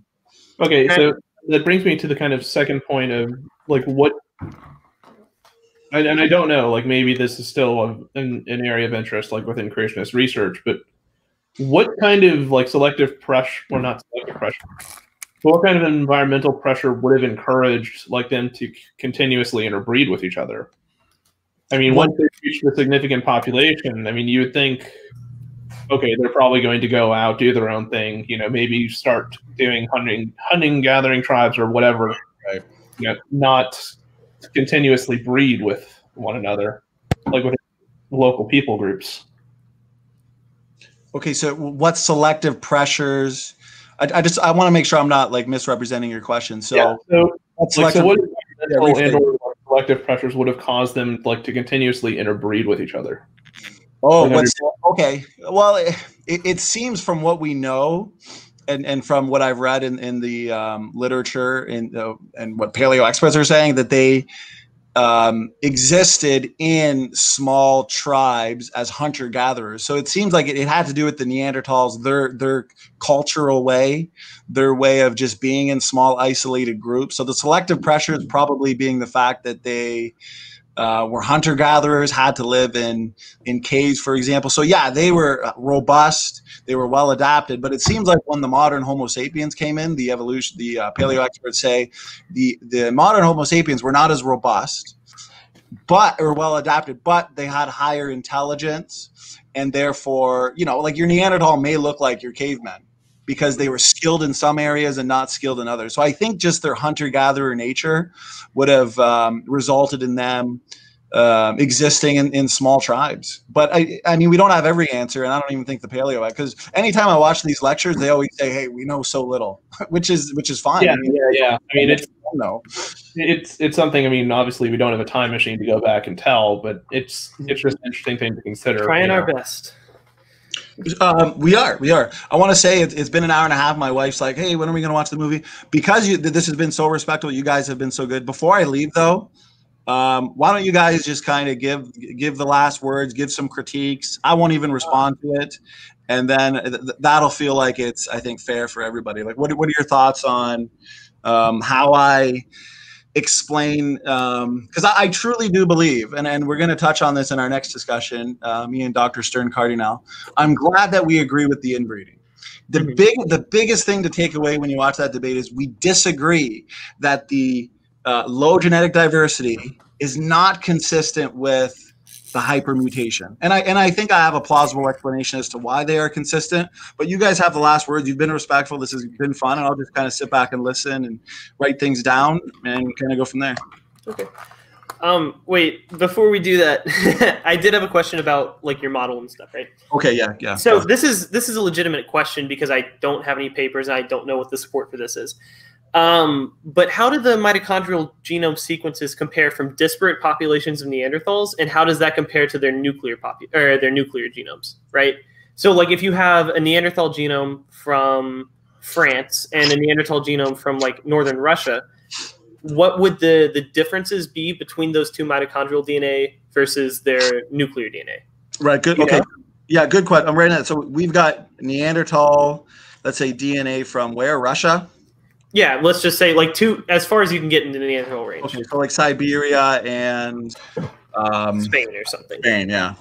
And and that's kind of the example I gave with Dan. I said, listen, I do believe that it's reliable because we get such consistent results. You get DNA from Siberia, DNA from Spain, and they seem to line up and still group them all together. You'd think that they would be grouped all over the place. It'd be a mess, but it seems to be consistent. So your question is, how does mtDNA compare with these two samples in different areas on the planet, obviously, with the nuclear DNA? Mhm. Hmm. Um, probably pretty consistent. It, it seems like because I think they've I think Pääbo watch that lecture. Okay, actually, I'm going to give you another lecture from from Pääbo. It seems like I think they did a, a thousand. They did a thousand sequences or a, a thousand different people and variants to test. And it seems like on average it's about 30 differences with the mitochondrial DNA. With the with the nuclear DNA, it's all pretty similar as well. Mhm. Kind of like you were pointing out with the SNPs. Uh, If, if I said consistent or similar, like what what would you think about that? Because I don't know. I gotta I gotta look to, to know exactly. But Yeah, well, I, I'm just wondering because that that's kind of a prediction that your model would have to make, right? So, if you have, if you're saying that the nuclear DNA can't be used to confer ancestry, because I, I agree, it's usually worse than mitochondrial DNA, but it's not impossible to confer ancestry using nuclear DNA. no, it's not. Um, so let's say if you have these two disparate populations, your theory would predict that their mitochondrial sequences would be extremely different because they still have the hypermutation, but their nuclear se- sequences would be really similar. And right. I right. don't know. I my my personal like intuitive guess. I don't know. Science isn't ever intuitive. My intuitive guess would be that the nuclear DNA and the mitochondrial DNA would show roughly the same amount of differences, but I don't know, and that's something I'll have to look. at. I, I think mtDNA would show less out of necessity unless you're Oh, of looking course, at. yeah. Well, Well, I mean, like relative. Don't make Well, with nuclear with nuclear DNA today, with modern Homo sapiens, I mean, we're looking at between like sixty to one hundred per generation, per person per generation. So there's a lot more mutations getting through in the germ cell line in the nuclear DNA. Mitochondrial DNA, like Speed said, is a lot, lot less, which makes sense because it's only sixteen thousand letters long, and with the important And- functions that are encoded by mitochondrial DNA proteins, typically natural selection works better on mitochondrial DNA because you get a mutation in in uh, you know a mito- your mitochondrial DNA that affects the heart. I mean, you're going to die. Natural selection is going to weed you out real quick. So I would say, uh, I would say consistency, nuclear DNA across the board is going to show high levels of homozygosity, which seems to be the case. Mhm. And mitochondrial DNA is going to show um, consistent results, probably um, 30 or so differences. Um, you can watch those lectures and, and see. I'm going to rewatch them. But uh, point is, it, we need hypermutation in mitochondrial DNA because, because remember, the, here's the underlying issue. This is where Dr. Dan Stern Cardinale's problem is: is we use pedigree-based studies on modern Homo sapiens today. We use the empirical method um, and we track it back to about 6,000 years. But his criticism is once you throw Neanderthals in there, ancient DNA, suddenly it's all out of whack because um, because of how many differences they have versus modern Homo sapiens. So that's where the hypermutating hypothesis comes in to explain the mitochondrial DNA differences. Um, okay, that doesn't explain the nuclear DNA differences. So What's the nuclear? Yeah, but we've already agreed that the nuclear DNA shows high levels of homozygosity and highly inbred. It's very low genetic diversity, consistent. with- comparing them to the to to to our line, basically. We're not highly inbred as Homo sapiens. Well, it doesn't matter if we're highly inbred. We we differ in a number of genetic markers Right. in nuclear DNA. Right. And I don't know the details of that, but I'm going to know it. I'm going to look into it. But uh, so I, I, I'm trying to figure out a steel man for your model, and uh, the last Neanderthal being 1300 BC is kind of uh, kind of interesting. I think you're going to have trouble supporting that one. Oh, and uh, the, Well, we find well. Here's the thing, though. We find all the different hominin, so-called species, your human variants. They've all um, commingled, interbred. You, you know, I think it was some Australian Aborigines that the evolutionists date to about twelve thousand years. Now, I don't agree with the date, but they date to about twelve thousand years. With the morphology, this is another paper that I'll have to just go on at the top of my head, but I'll, I'll get it to you guys earlier. I did give you the other one on the pit of bones in the side chat. I'm not sure if you found that, but they found skulls just 12,000 years ago, according to the evolutionary time frame. Um, actually, before I go on with this, when do you guys believe, according to your uh, model, that Neanderthals went extinct? 50,000 years or something? Yeah, I think most estimates put it at about thirty thousand. Okay. So it was far earlier than that. Okay. And the morphology in these skulls were like identical to Neanderthal. But the paleo experts could not conclude that they were Neanderthals because it was just it was it was too soon, and they concluded it was modern Homo sapiens. But they had to because at that point Neanderthals had had gone extinct. So, but and they even admit um, that if the, if that's those skulls, if those bones and the morphology were found, let's see, a hundred thousand years ago, boom, Neanderthal, Neanderthals for sure. But the date was so inconsistent. So the evidence does seem to suggest that we've all intermingled, uh, coexisted, interbred. Now the Neanderthals, yeah, they would have experienced rapid, rapid acceler- uh, accelerated genetic degeneration. It probably happened quick. I don't know how quick, but you, yeah, you got to look at all these these describe even the Denisovans and how in. Um, it was a shocker to i got an interesting joe rogan video where he had a guest on talking about the denisovans and he was talking about some fascinating stuff and he was he's a paleo expert. He was admitting like this is not what we thought. I'll, I'll give you guys that link too but yeah, to take the final word before my wife kills me and then we'll continue this talk okay i have a couple questions. Number you trying to get me a divorce? Yeah. Uh, Okay, the, the, real oh, yeah. simple, real simple. Will you promise? Because I like to put the links in my videos uh, that you will send me. Let's see, Joe Joe Rogan on Denisovans. I can probably find that, but that one on the Australians, the 12k years years. Okay, that one. Can you give me that link? And you mentioned watch rewatching some lectures. What lectures yes. are you talking about? So I posted one lecture in the chat. And, I don't know if it showed up because I'm not moderator or not. But yeah. I got all my history. I'm, I'm going to send you two lectures. Well, put them in private chat. Right now? Well, I got it from my phone. Here, I, I promise you, right now, everybody's hearing live. I'm gonna I'm gonna shoot them to you in an email because to be honest with you, I want you to watch these lectures. Okay, they're if, if, lectures. They're you're gonna love them. You're gonna and, okay. and, they're up to date too. You're gonna love them. Okay, so if you don't let, let me be if you don't give me that paper and the lectures, then you have to give me a refund on all the books I bought. okay. Wait a minute, that's not in the fine print, but yes, you got my word. You got my word right here. Okay, we have your word. We'll see if your word is good.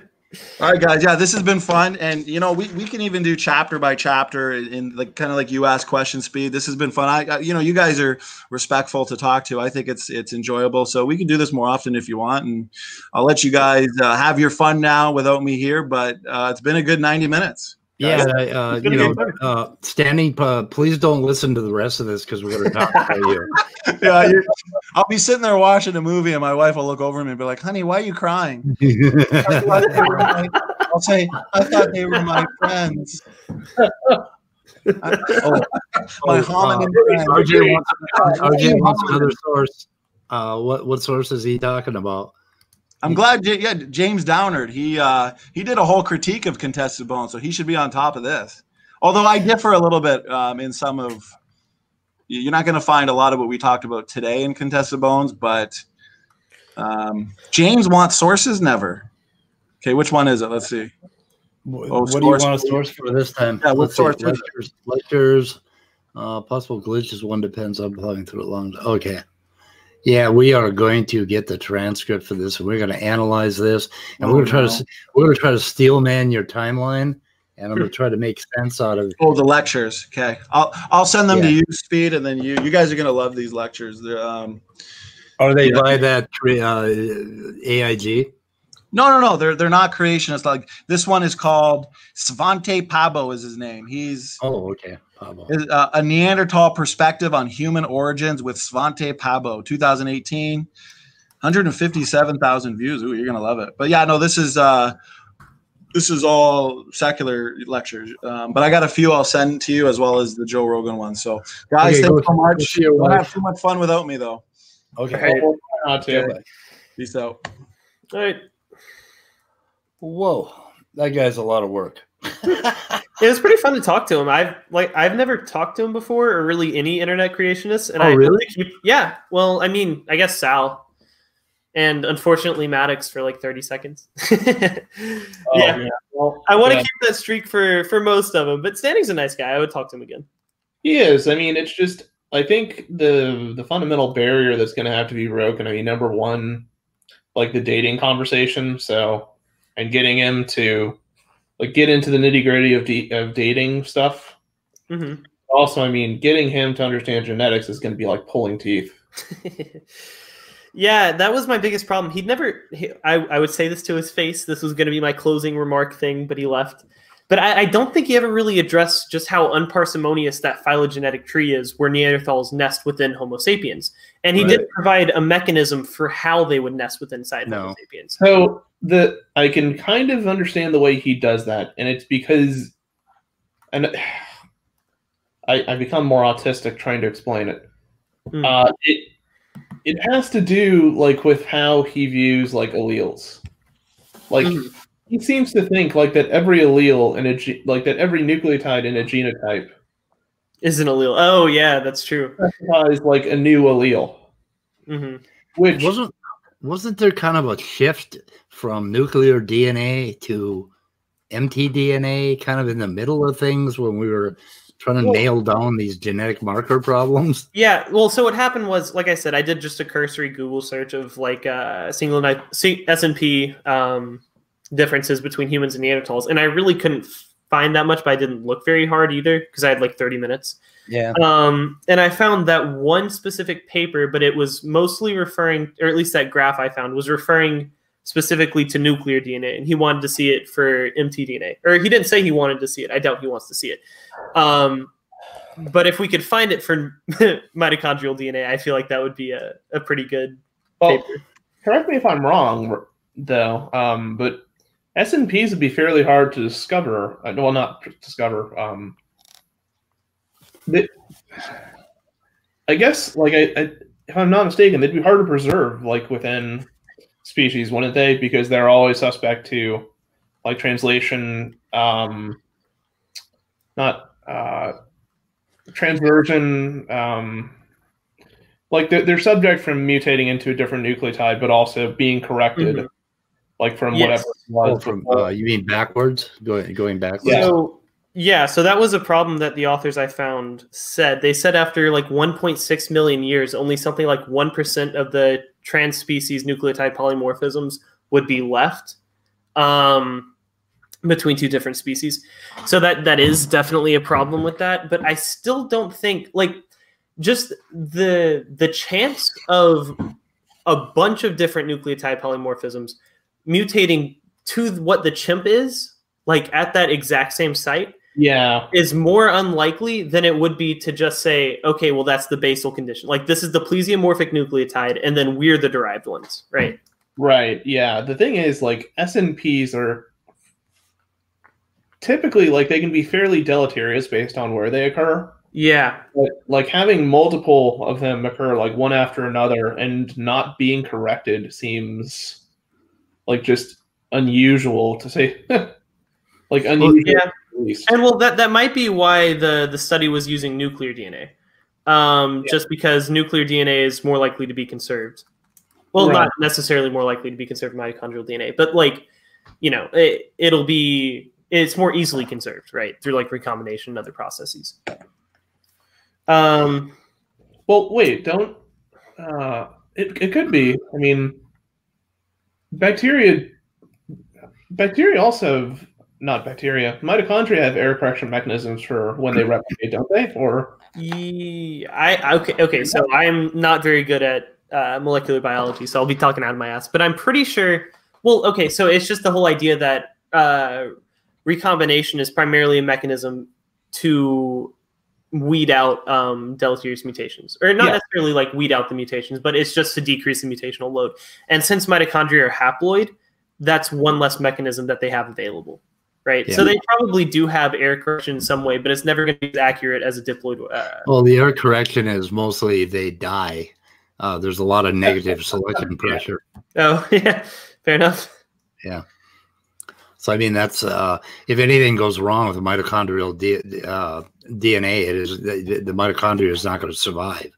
So it's not going to produce, not going to survive. So yeah, that's one of the interesting things like that people tend to forget is that um, uh, mitochondrial DNA isn't linear. It's uh, it's circular DNA, Mm-hmm. which that- prokaryotic.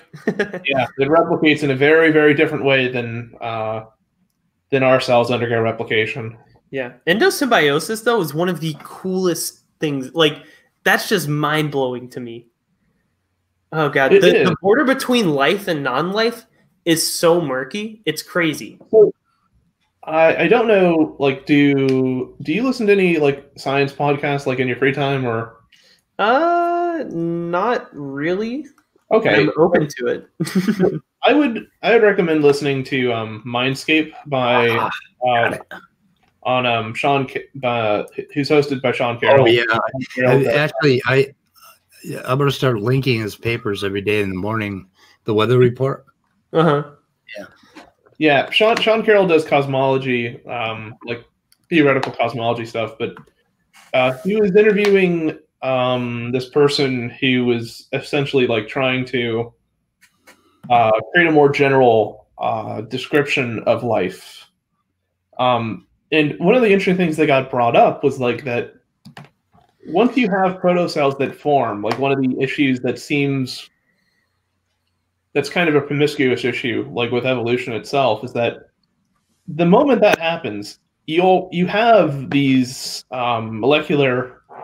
You also have these uh, other kind of uh, molecular machinery that are highly efficient at replicating their own genome, hmm and you start this competition between or uh, an organism trying to preserve its genetic information and you know essentially survive whereas other parasitic you know molecular whereas molecular parasites are trying to uh, essentially copy their own dna hmm most times the molecular parasites win out because it's easier for them to replicate their genetic information.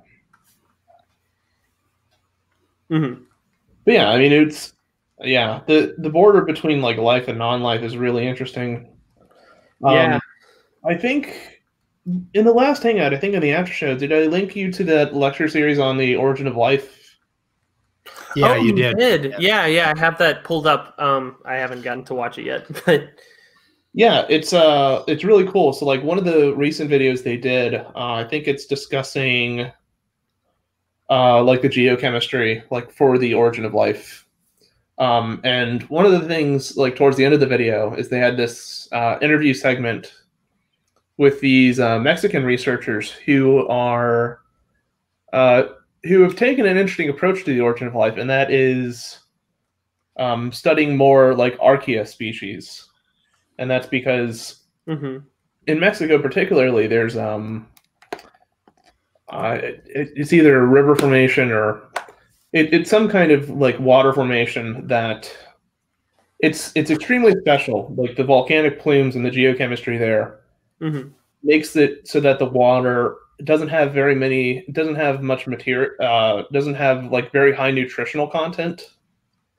Yet there's a boundary where like in the inner coast you can see like stromatolites uh, that are still present within that water and still actively living and reproducing um, but beyond that like 200 meters you know down the line you don't you don't see that any longer hmm Like- like the landscape and the water changes entirely.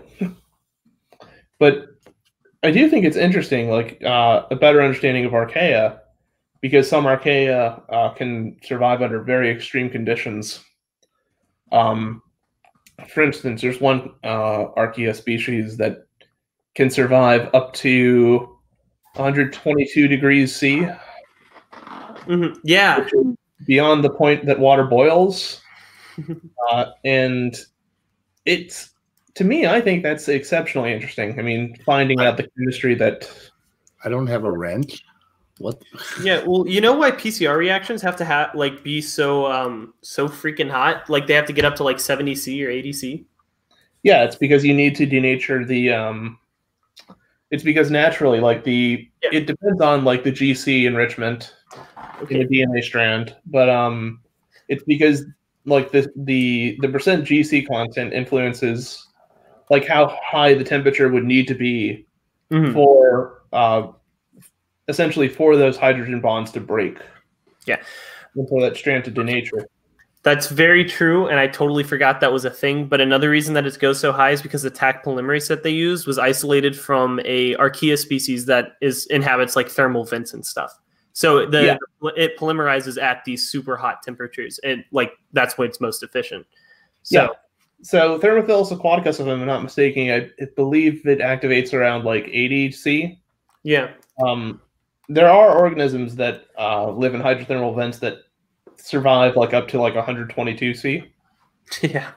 and it's like extreme pressure that kind of like allows that to occur because the pressure, like at that level in the ocean, uh, prevents the phase transition from uh, essentially water to water to steam. Yeah.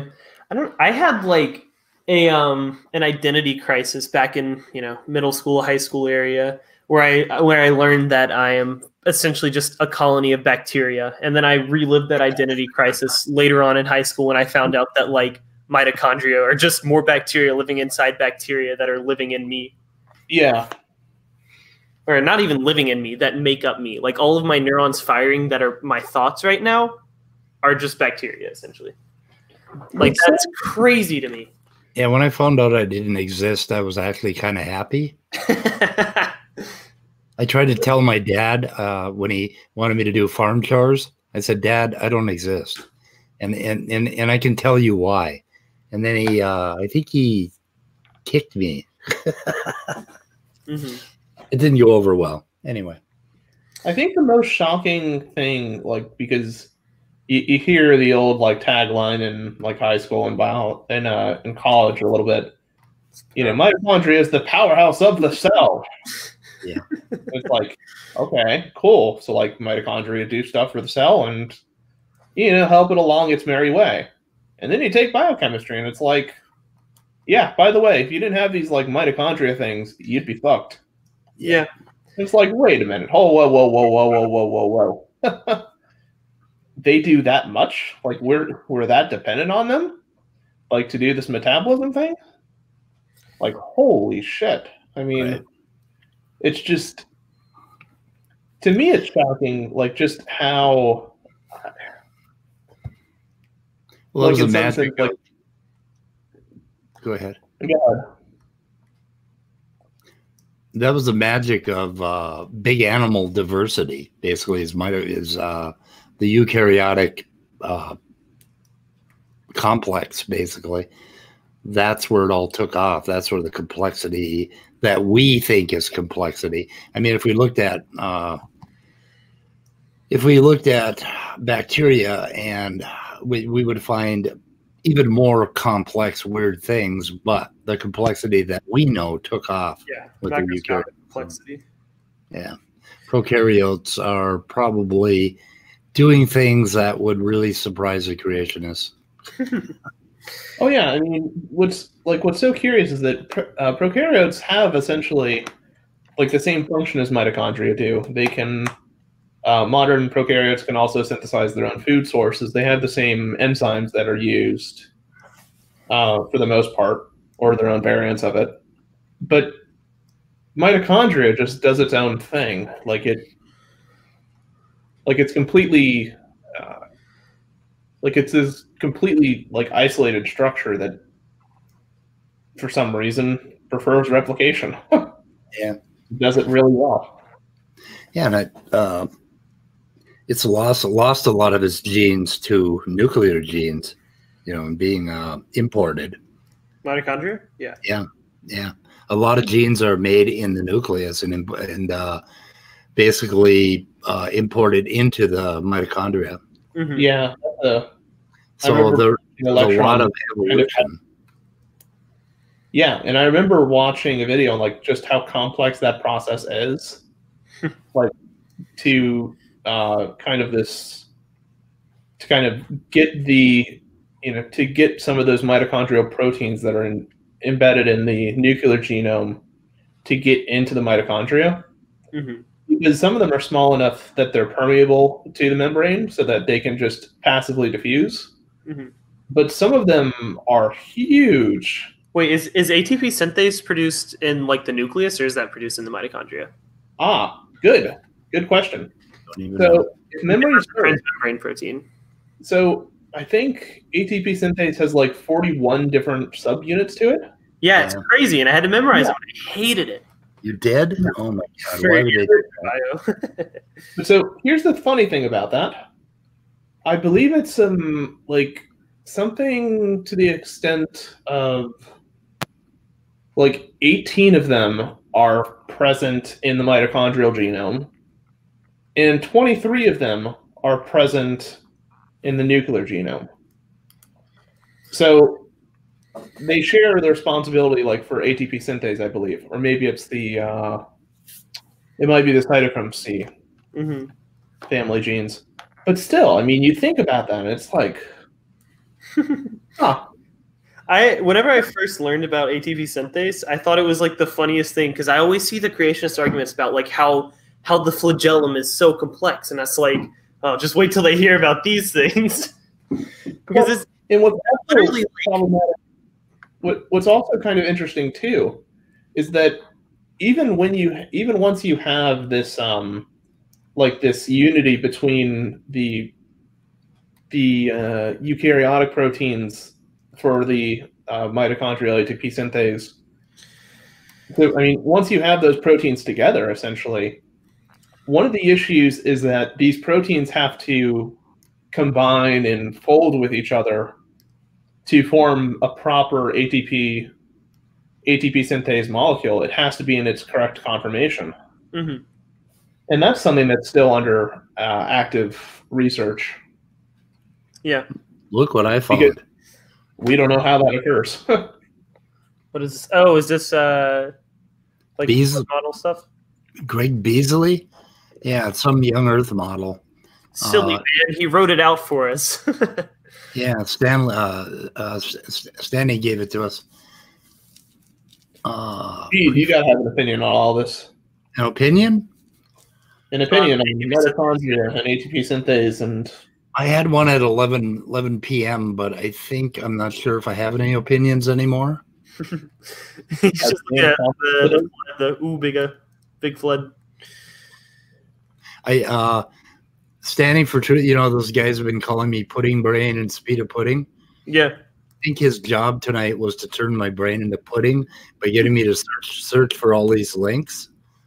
And he did a pretty good job, tell you the truth. The man, I got to hand it to him. he, we were spinning every which way but loose, man. Yeah, that is something I you know, I, I mentioned this in me and Speed's private chat earlier. Um is I think they're so used to like just poking holes in evolution and all that kind of stuff that they're not used to actually defending their own arguments and their own models. So whenever whenever Standing has to defend the idea that like Neanderthals are actually within the Homo sapiens clade, he doesn't really know how to. And I- I would love to see anyone try to debate like a creationist on geology, but not not geology as in does old world geology fit, but does new like young Earth geology fit? You know what I mean?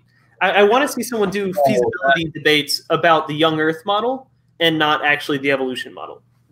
Yeah. the thing is, like, and I'm not a geo- geological geology person at all. Yeah. But like, even like some of the stuff I've listened to, like, which comprises YouTube videos and very cursory understanding of the geologic column, hmm the Noahic flood is something that's like if you interpret it as global and especially like the creation model, like they put forth in terms of like all the strata being laid down like at the same time, hmm there, there is no way.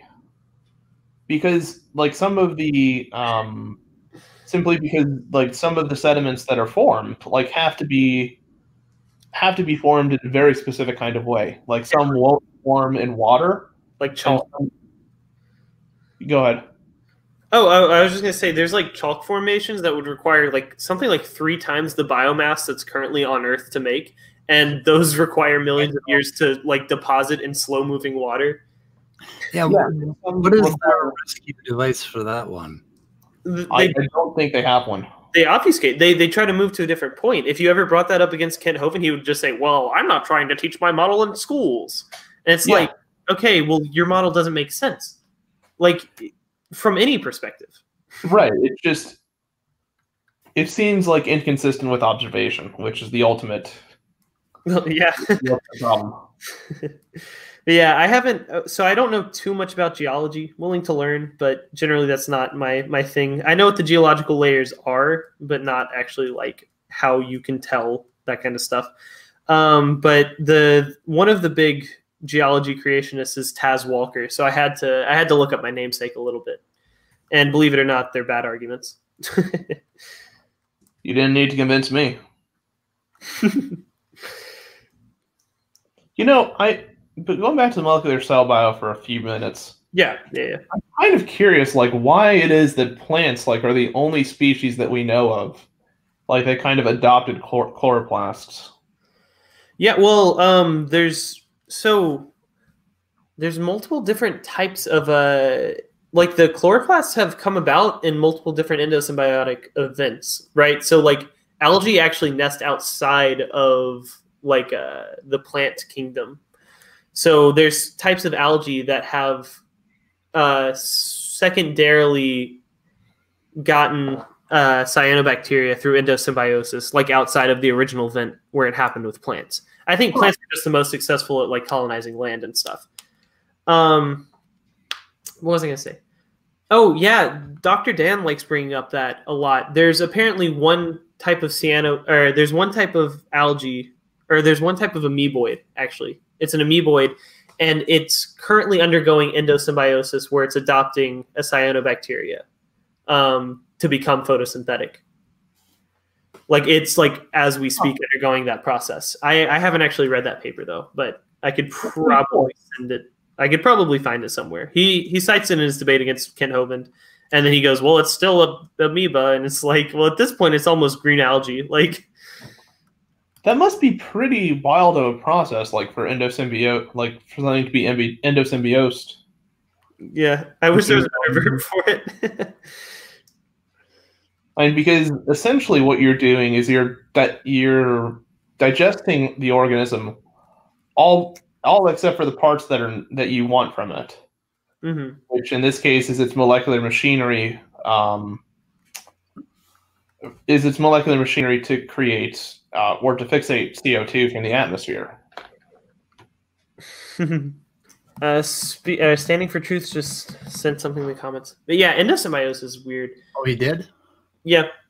Is it? I, I don't know how. Like, obviously, it's different, but I I honestly just sort of think of it as like uh, codependence and stuff like that, as like you know macroscopic symbiosis with just a lot more integration at the molecular level. Yeah, I, I it's I think if I'm not mistaken, um, like heterotrophic organisms don't use. Well, no, they do, do they? Hmm? I was trying to remember, like if you, ATP is a universal among all organisms. Yeah, I can't think of any. This is what I- I remember. Like before, I somebody asked me about abiogenesis a while before I had before abiogenesis became a hot topic in this. Um, yeah, and I, I or no, somebody said what I could think of as potentially irreducibly complex, and I said ATP synthase or uh, glucose metabolism because I I can't think of any species that don't use either of those mechanisms. Um, I still don't think they're necessarily irreducibly complex, but I think out of everything we have, that's probably the best argument for God creating the original like first cells and then, you know, heavenly panspermia, like producing life from there. Yeah, to me, I, there's interesting things. Like it's it seems that like having lipid systems can give you like replication at a very basic level. hmm the thing that's kind of interesting t- for me at least like studying it like studying abiof like from a very cursory level hmm is it seems like you need metabolism before anything else is go Well, we'll be able to find out Wednesday, right? i, I guess so i mean and, and part of the reason for that is like as you were mentioning before like with atp synth um like with uh, glycolysis and things like that yeah. remember, um, glycolysis is a process that requires an investment phase. Like it requires two ATPs And like the pyruvates. going before it pays itself off Yeah. in the end. Um, but as a matter of fact, like the majority of biological processes require ATP to function. Anything that's not uh, osmosis, um, osmosis related. So I mean, uh, small molecules and um, like small o- molecules and ions can move through uh, voltage gate voltage gated channels relatively easily. Mhm. It's not too much of an energetic cost. Sometimes it's favorable for it to happen. But for if you want to get a protein transported like out of the cytosol and in and into the extracellular space, well, that costs energy. That costs a, essentially it costs the cell resources in terms of energy to be able to do that. Mhm. And more importantly, that energy has to be storable. It has to be something that can be produced by, you know, these protein factories that are able to produce it. And to me, I mean, that's kind of an interesting, uh, like, it's an interesting source of question about very early on, like for metabolic systems, what would be a um, essentially like what would be an energetic substrate that could be used like for protocells Yeah. to you know to have that to have that occur Yeah. I don't know. This is why like abiogenesis is something that I've only like super recently started looking into because I mean I've I've been pretty open about this. Abiogenesis is not something I know much about or really look into. It was something that I sort of accepted after the fact I became atheist, right? So like I went through a creationist phase and then I stopped being creationist, but I was still like theistic evolution. And then for a while I was just like mm-hmm. I I became like sort of agnostic on it, but I sort of believed that a deist position was probably the best because I didn't know how like life could have originated or the Big Bang could have started. But then I sort of just got comfortable with the idea of like it's okay to not know, you know. And then I, I felt like a deistic god who sort of just dropped a few cells off and then like fucked off is it, it, it sort of fails Occam's razor way worse than just yeah. There's probably some chemical reactions we just don't fully understand yet, you know.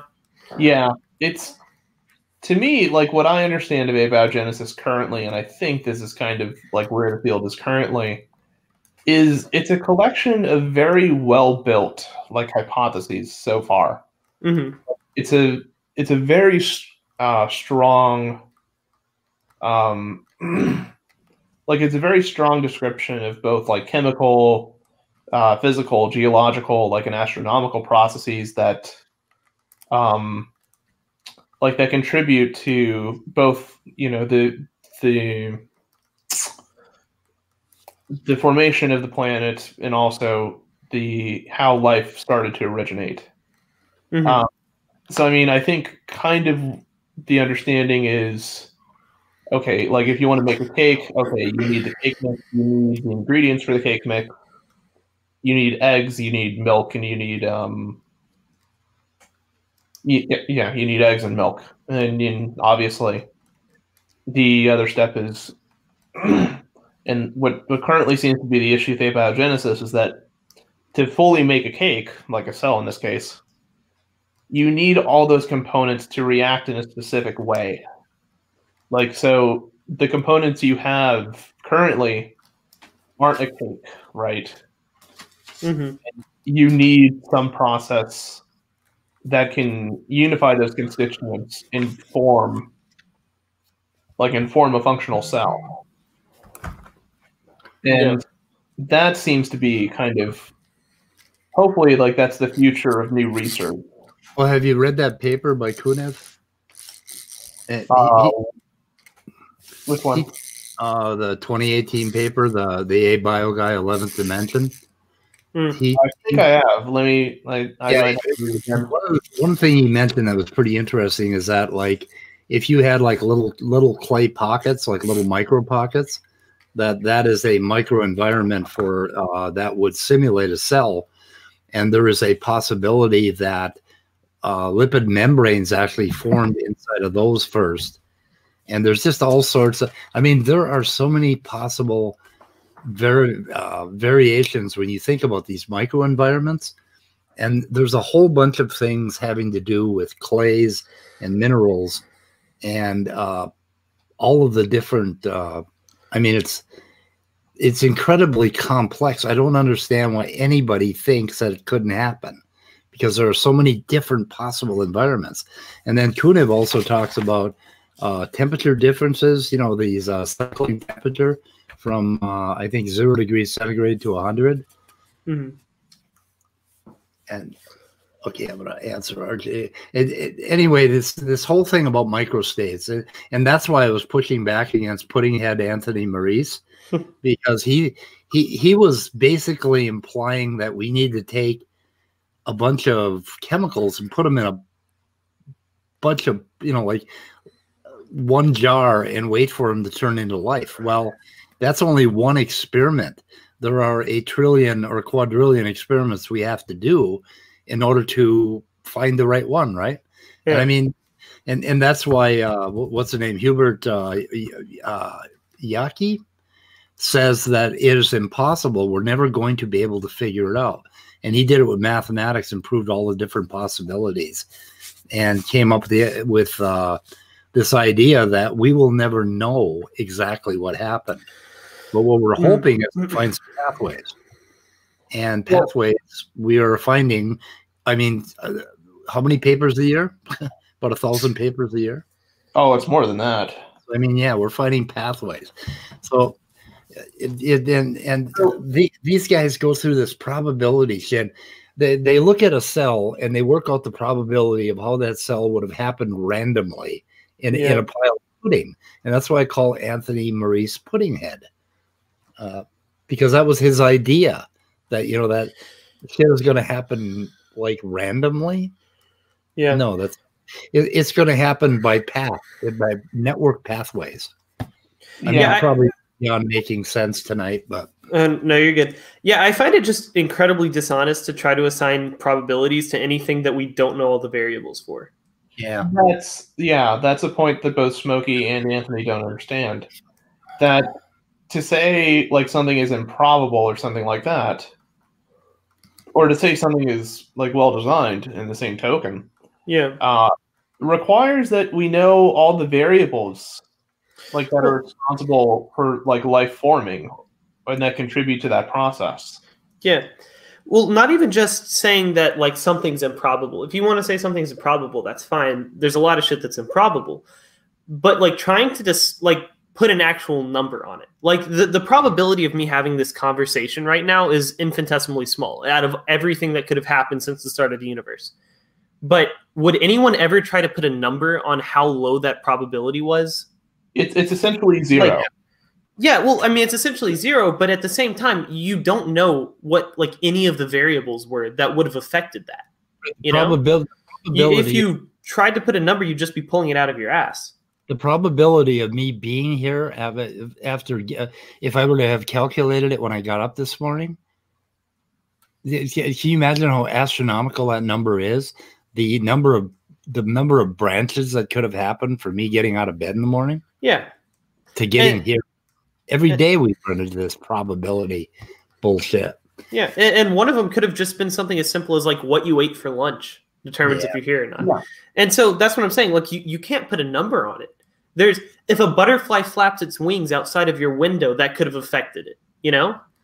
Right, the whole butterfly effect. So there's that whole thing where they're like, oh, well, the probability is one in 10 to the 26th or something like that. And it's like, no, the, the answer is you don't know. Or it's like 10 to the 40th or something. It's like, no, the actual answer is you don't know. Well, the thing I like to do is like, okay, I mean, okay. So you claim that the probability of a nucleotide forming is 10 to the 430 whatever freaking power you want to name. Yeah. Just how improbable is it that like you receive air given like the like the just just how the chemistry works there? I mean, you know, the chemist, you know, the that o- an oxygen molecule of all things is going to be recruited by and within close enough proximity of a heme molecule to go through binding to not be you know detached from that uh, from that heme molecule while it's being transported and fixated and that it also you know gets converted properly into water or whatever it gets converted to like as it's undergoing reactions with teams are being carried off elsewhere. and it's like just the number of variables to calculate that. It's a mind fuck. Yeah. It's absolutely insane. Like any reasonable person would say, like, yeah, that's pretty much impossible. Like it's it's just the the insanity like of how precise it needs to be is unbelievable. But the thing is, nature doesn't really care because it's you know we we our cells don't live on a um on essentially on a one or done basis. hmm Our cells make errors all the time in terms of you know like miscellaneous transcription and mi- protein misfolding and all Yeah, things. I mean, it, it, it is so analog and stochastic. Like uh, the mRNA stuff is very, very analog. It's not a digital system at all. The control it has is very much uh, so the uh, basically the consensus sequences that it attaches to are not always a good fit, and so there's just every variation, and even that you know that alone, and then you look into mRNA and it turns out it's got like two or three other things that it does like uh, intracellular communication and it just goes on. I mean the more we discover the crazier the cell is. It's Mhm. just all this big complex of shit happening. And all that matters is that basically at the end of the cycle the thing is still alive. It hasn't killed itself you know from random shit happening. It, it just has to get above a certain level and i think that's what that's one of the reasons why uh, mitochondrial rna are important because they give us a whole lot of energy to waste. And there's a ton of waste. So many proteins come out of basically pop out of the ribosomes and get eaten right away and, and uh, uh, nucleosomes or proteasomes i mean there's just a ton of waste going on. And all that matters is that the thing survives from day you know from moment to moment and it barely does that Well, and the thing is too, I mean, like the like one of the most basic information systems a cell like that bacterial cells have, and humans do have an equivalent, uh, do have a uh, similar analogs in our in our own cells. Is the example of the uh, lac operon? If anybody knows what that is. Oh yeah. Yeah, I mean, I, I forget like all the details of the lac operon, but it's this insane like process where, like, essentially the body can determine, like, your cells can determine if they need to produce, uh, if, like, if the gene, like, for the lac operon needs to be The lac On- operon is in single-celled organisms, I believe, like E. coli. Yeah. it's in bacteria. Yeah. but I believe it activates based upon like low, um, based upon like low lactose uh, concentration. I think But- it's glucose. Yeah. Sorry. Sorry. I keep interjecting. It might be it might be glucose. Um, and but the way it does it, it doesn't measure the uh, it doesn't measure like the concentration of glucose directly. Like one of the proteins, uh, I believe in uh, in the lipid membrane matrix, determines uh, or kind of keeps a keeps a record of how much of a certain byproduct uh, from glucose metabolism. So like um, Beta glyceraldehyde three phosphate or whatever it is Mhm. is being produced by the cell. Yeah. And when that concentration gets too low, it knows, oh, okay, so that means that we don't have food. And because of that, uh, there isn't much glucose being produced any longer. hmm So the glucose that, like the, the protein that um, that handles the lac operon, it binds at it binds the, the gene sequence itself.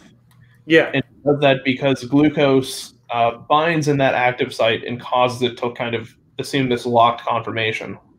Mhm.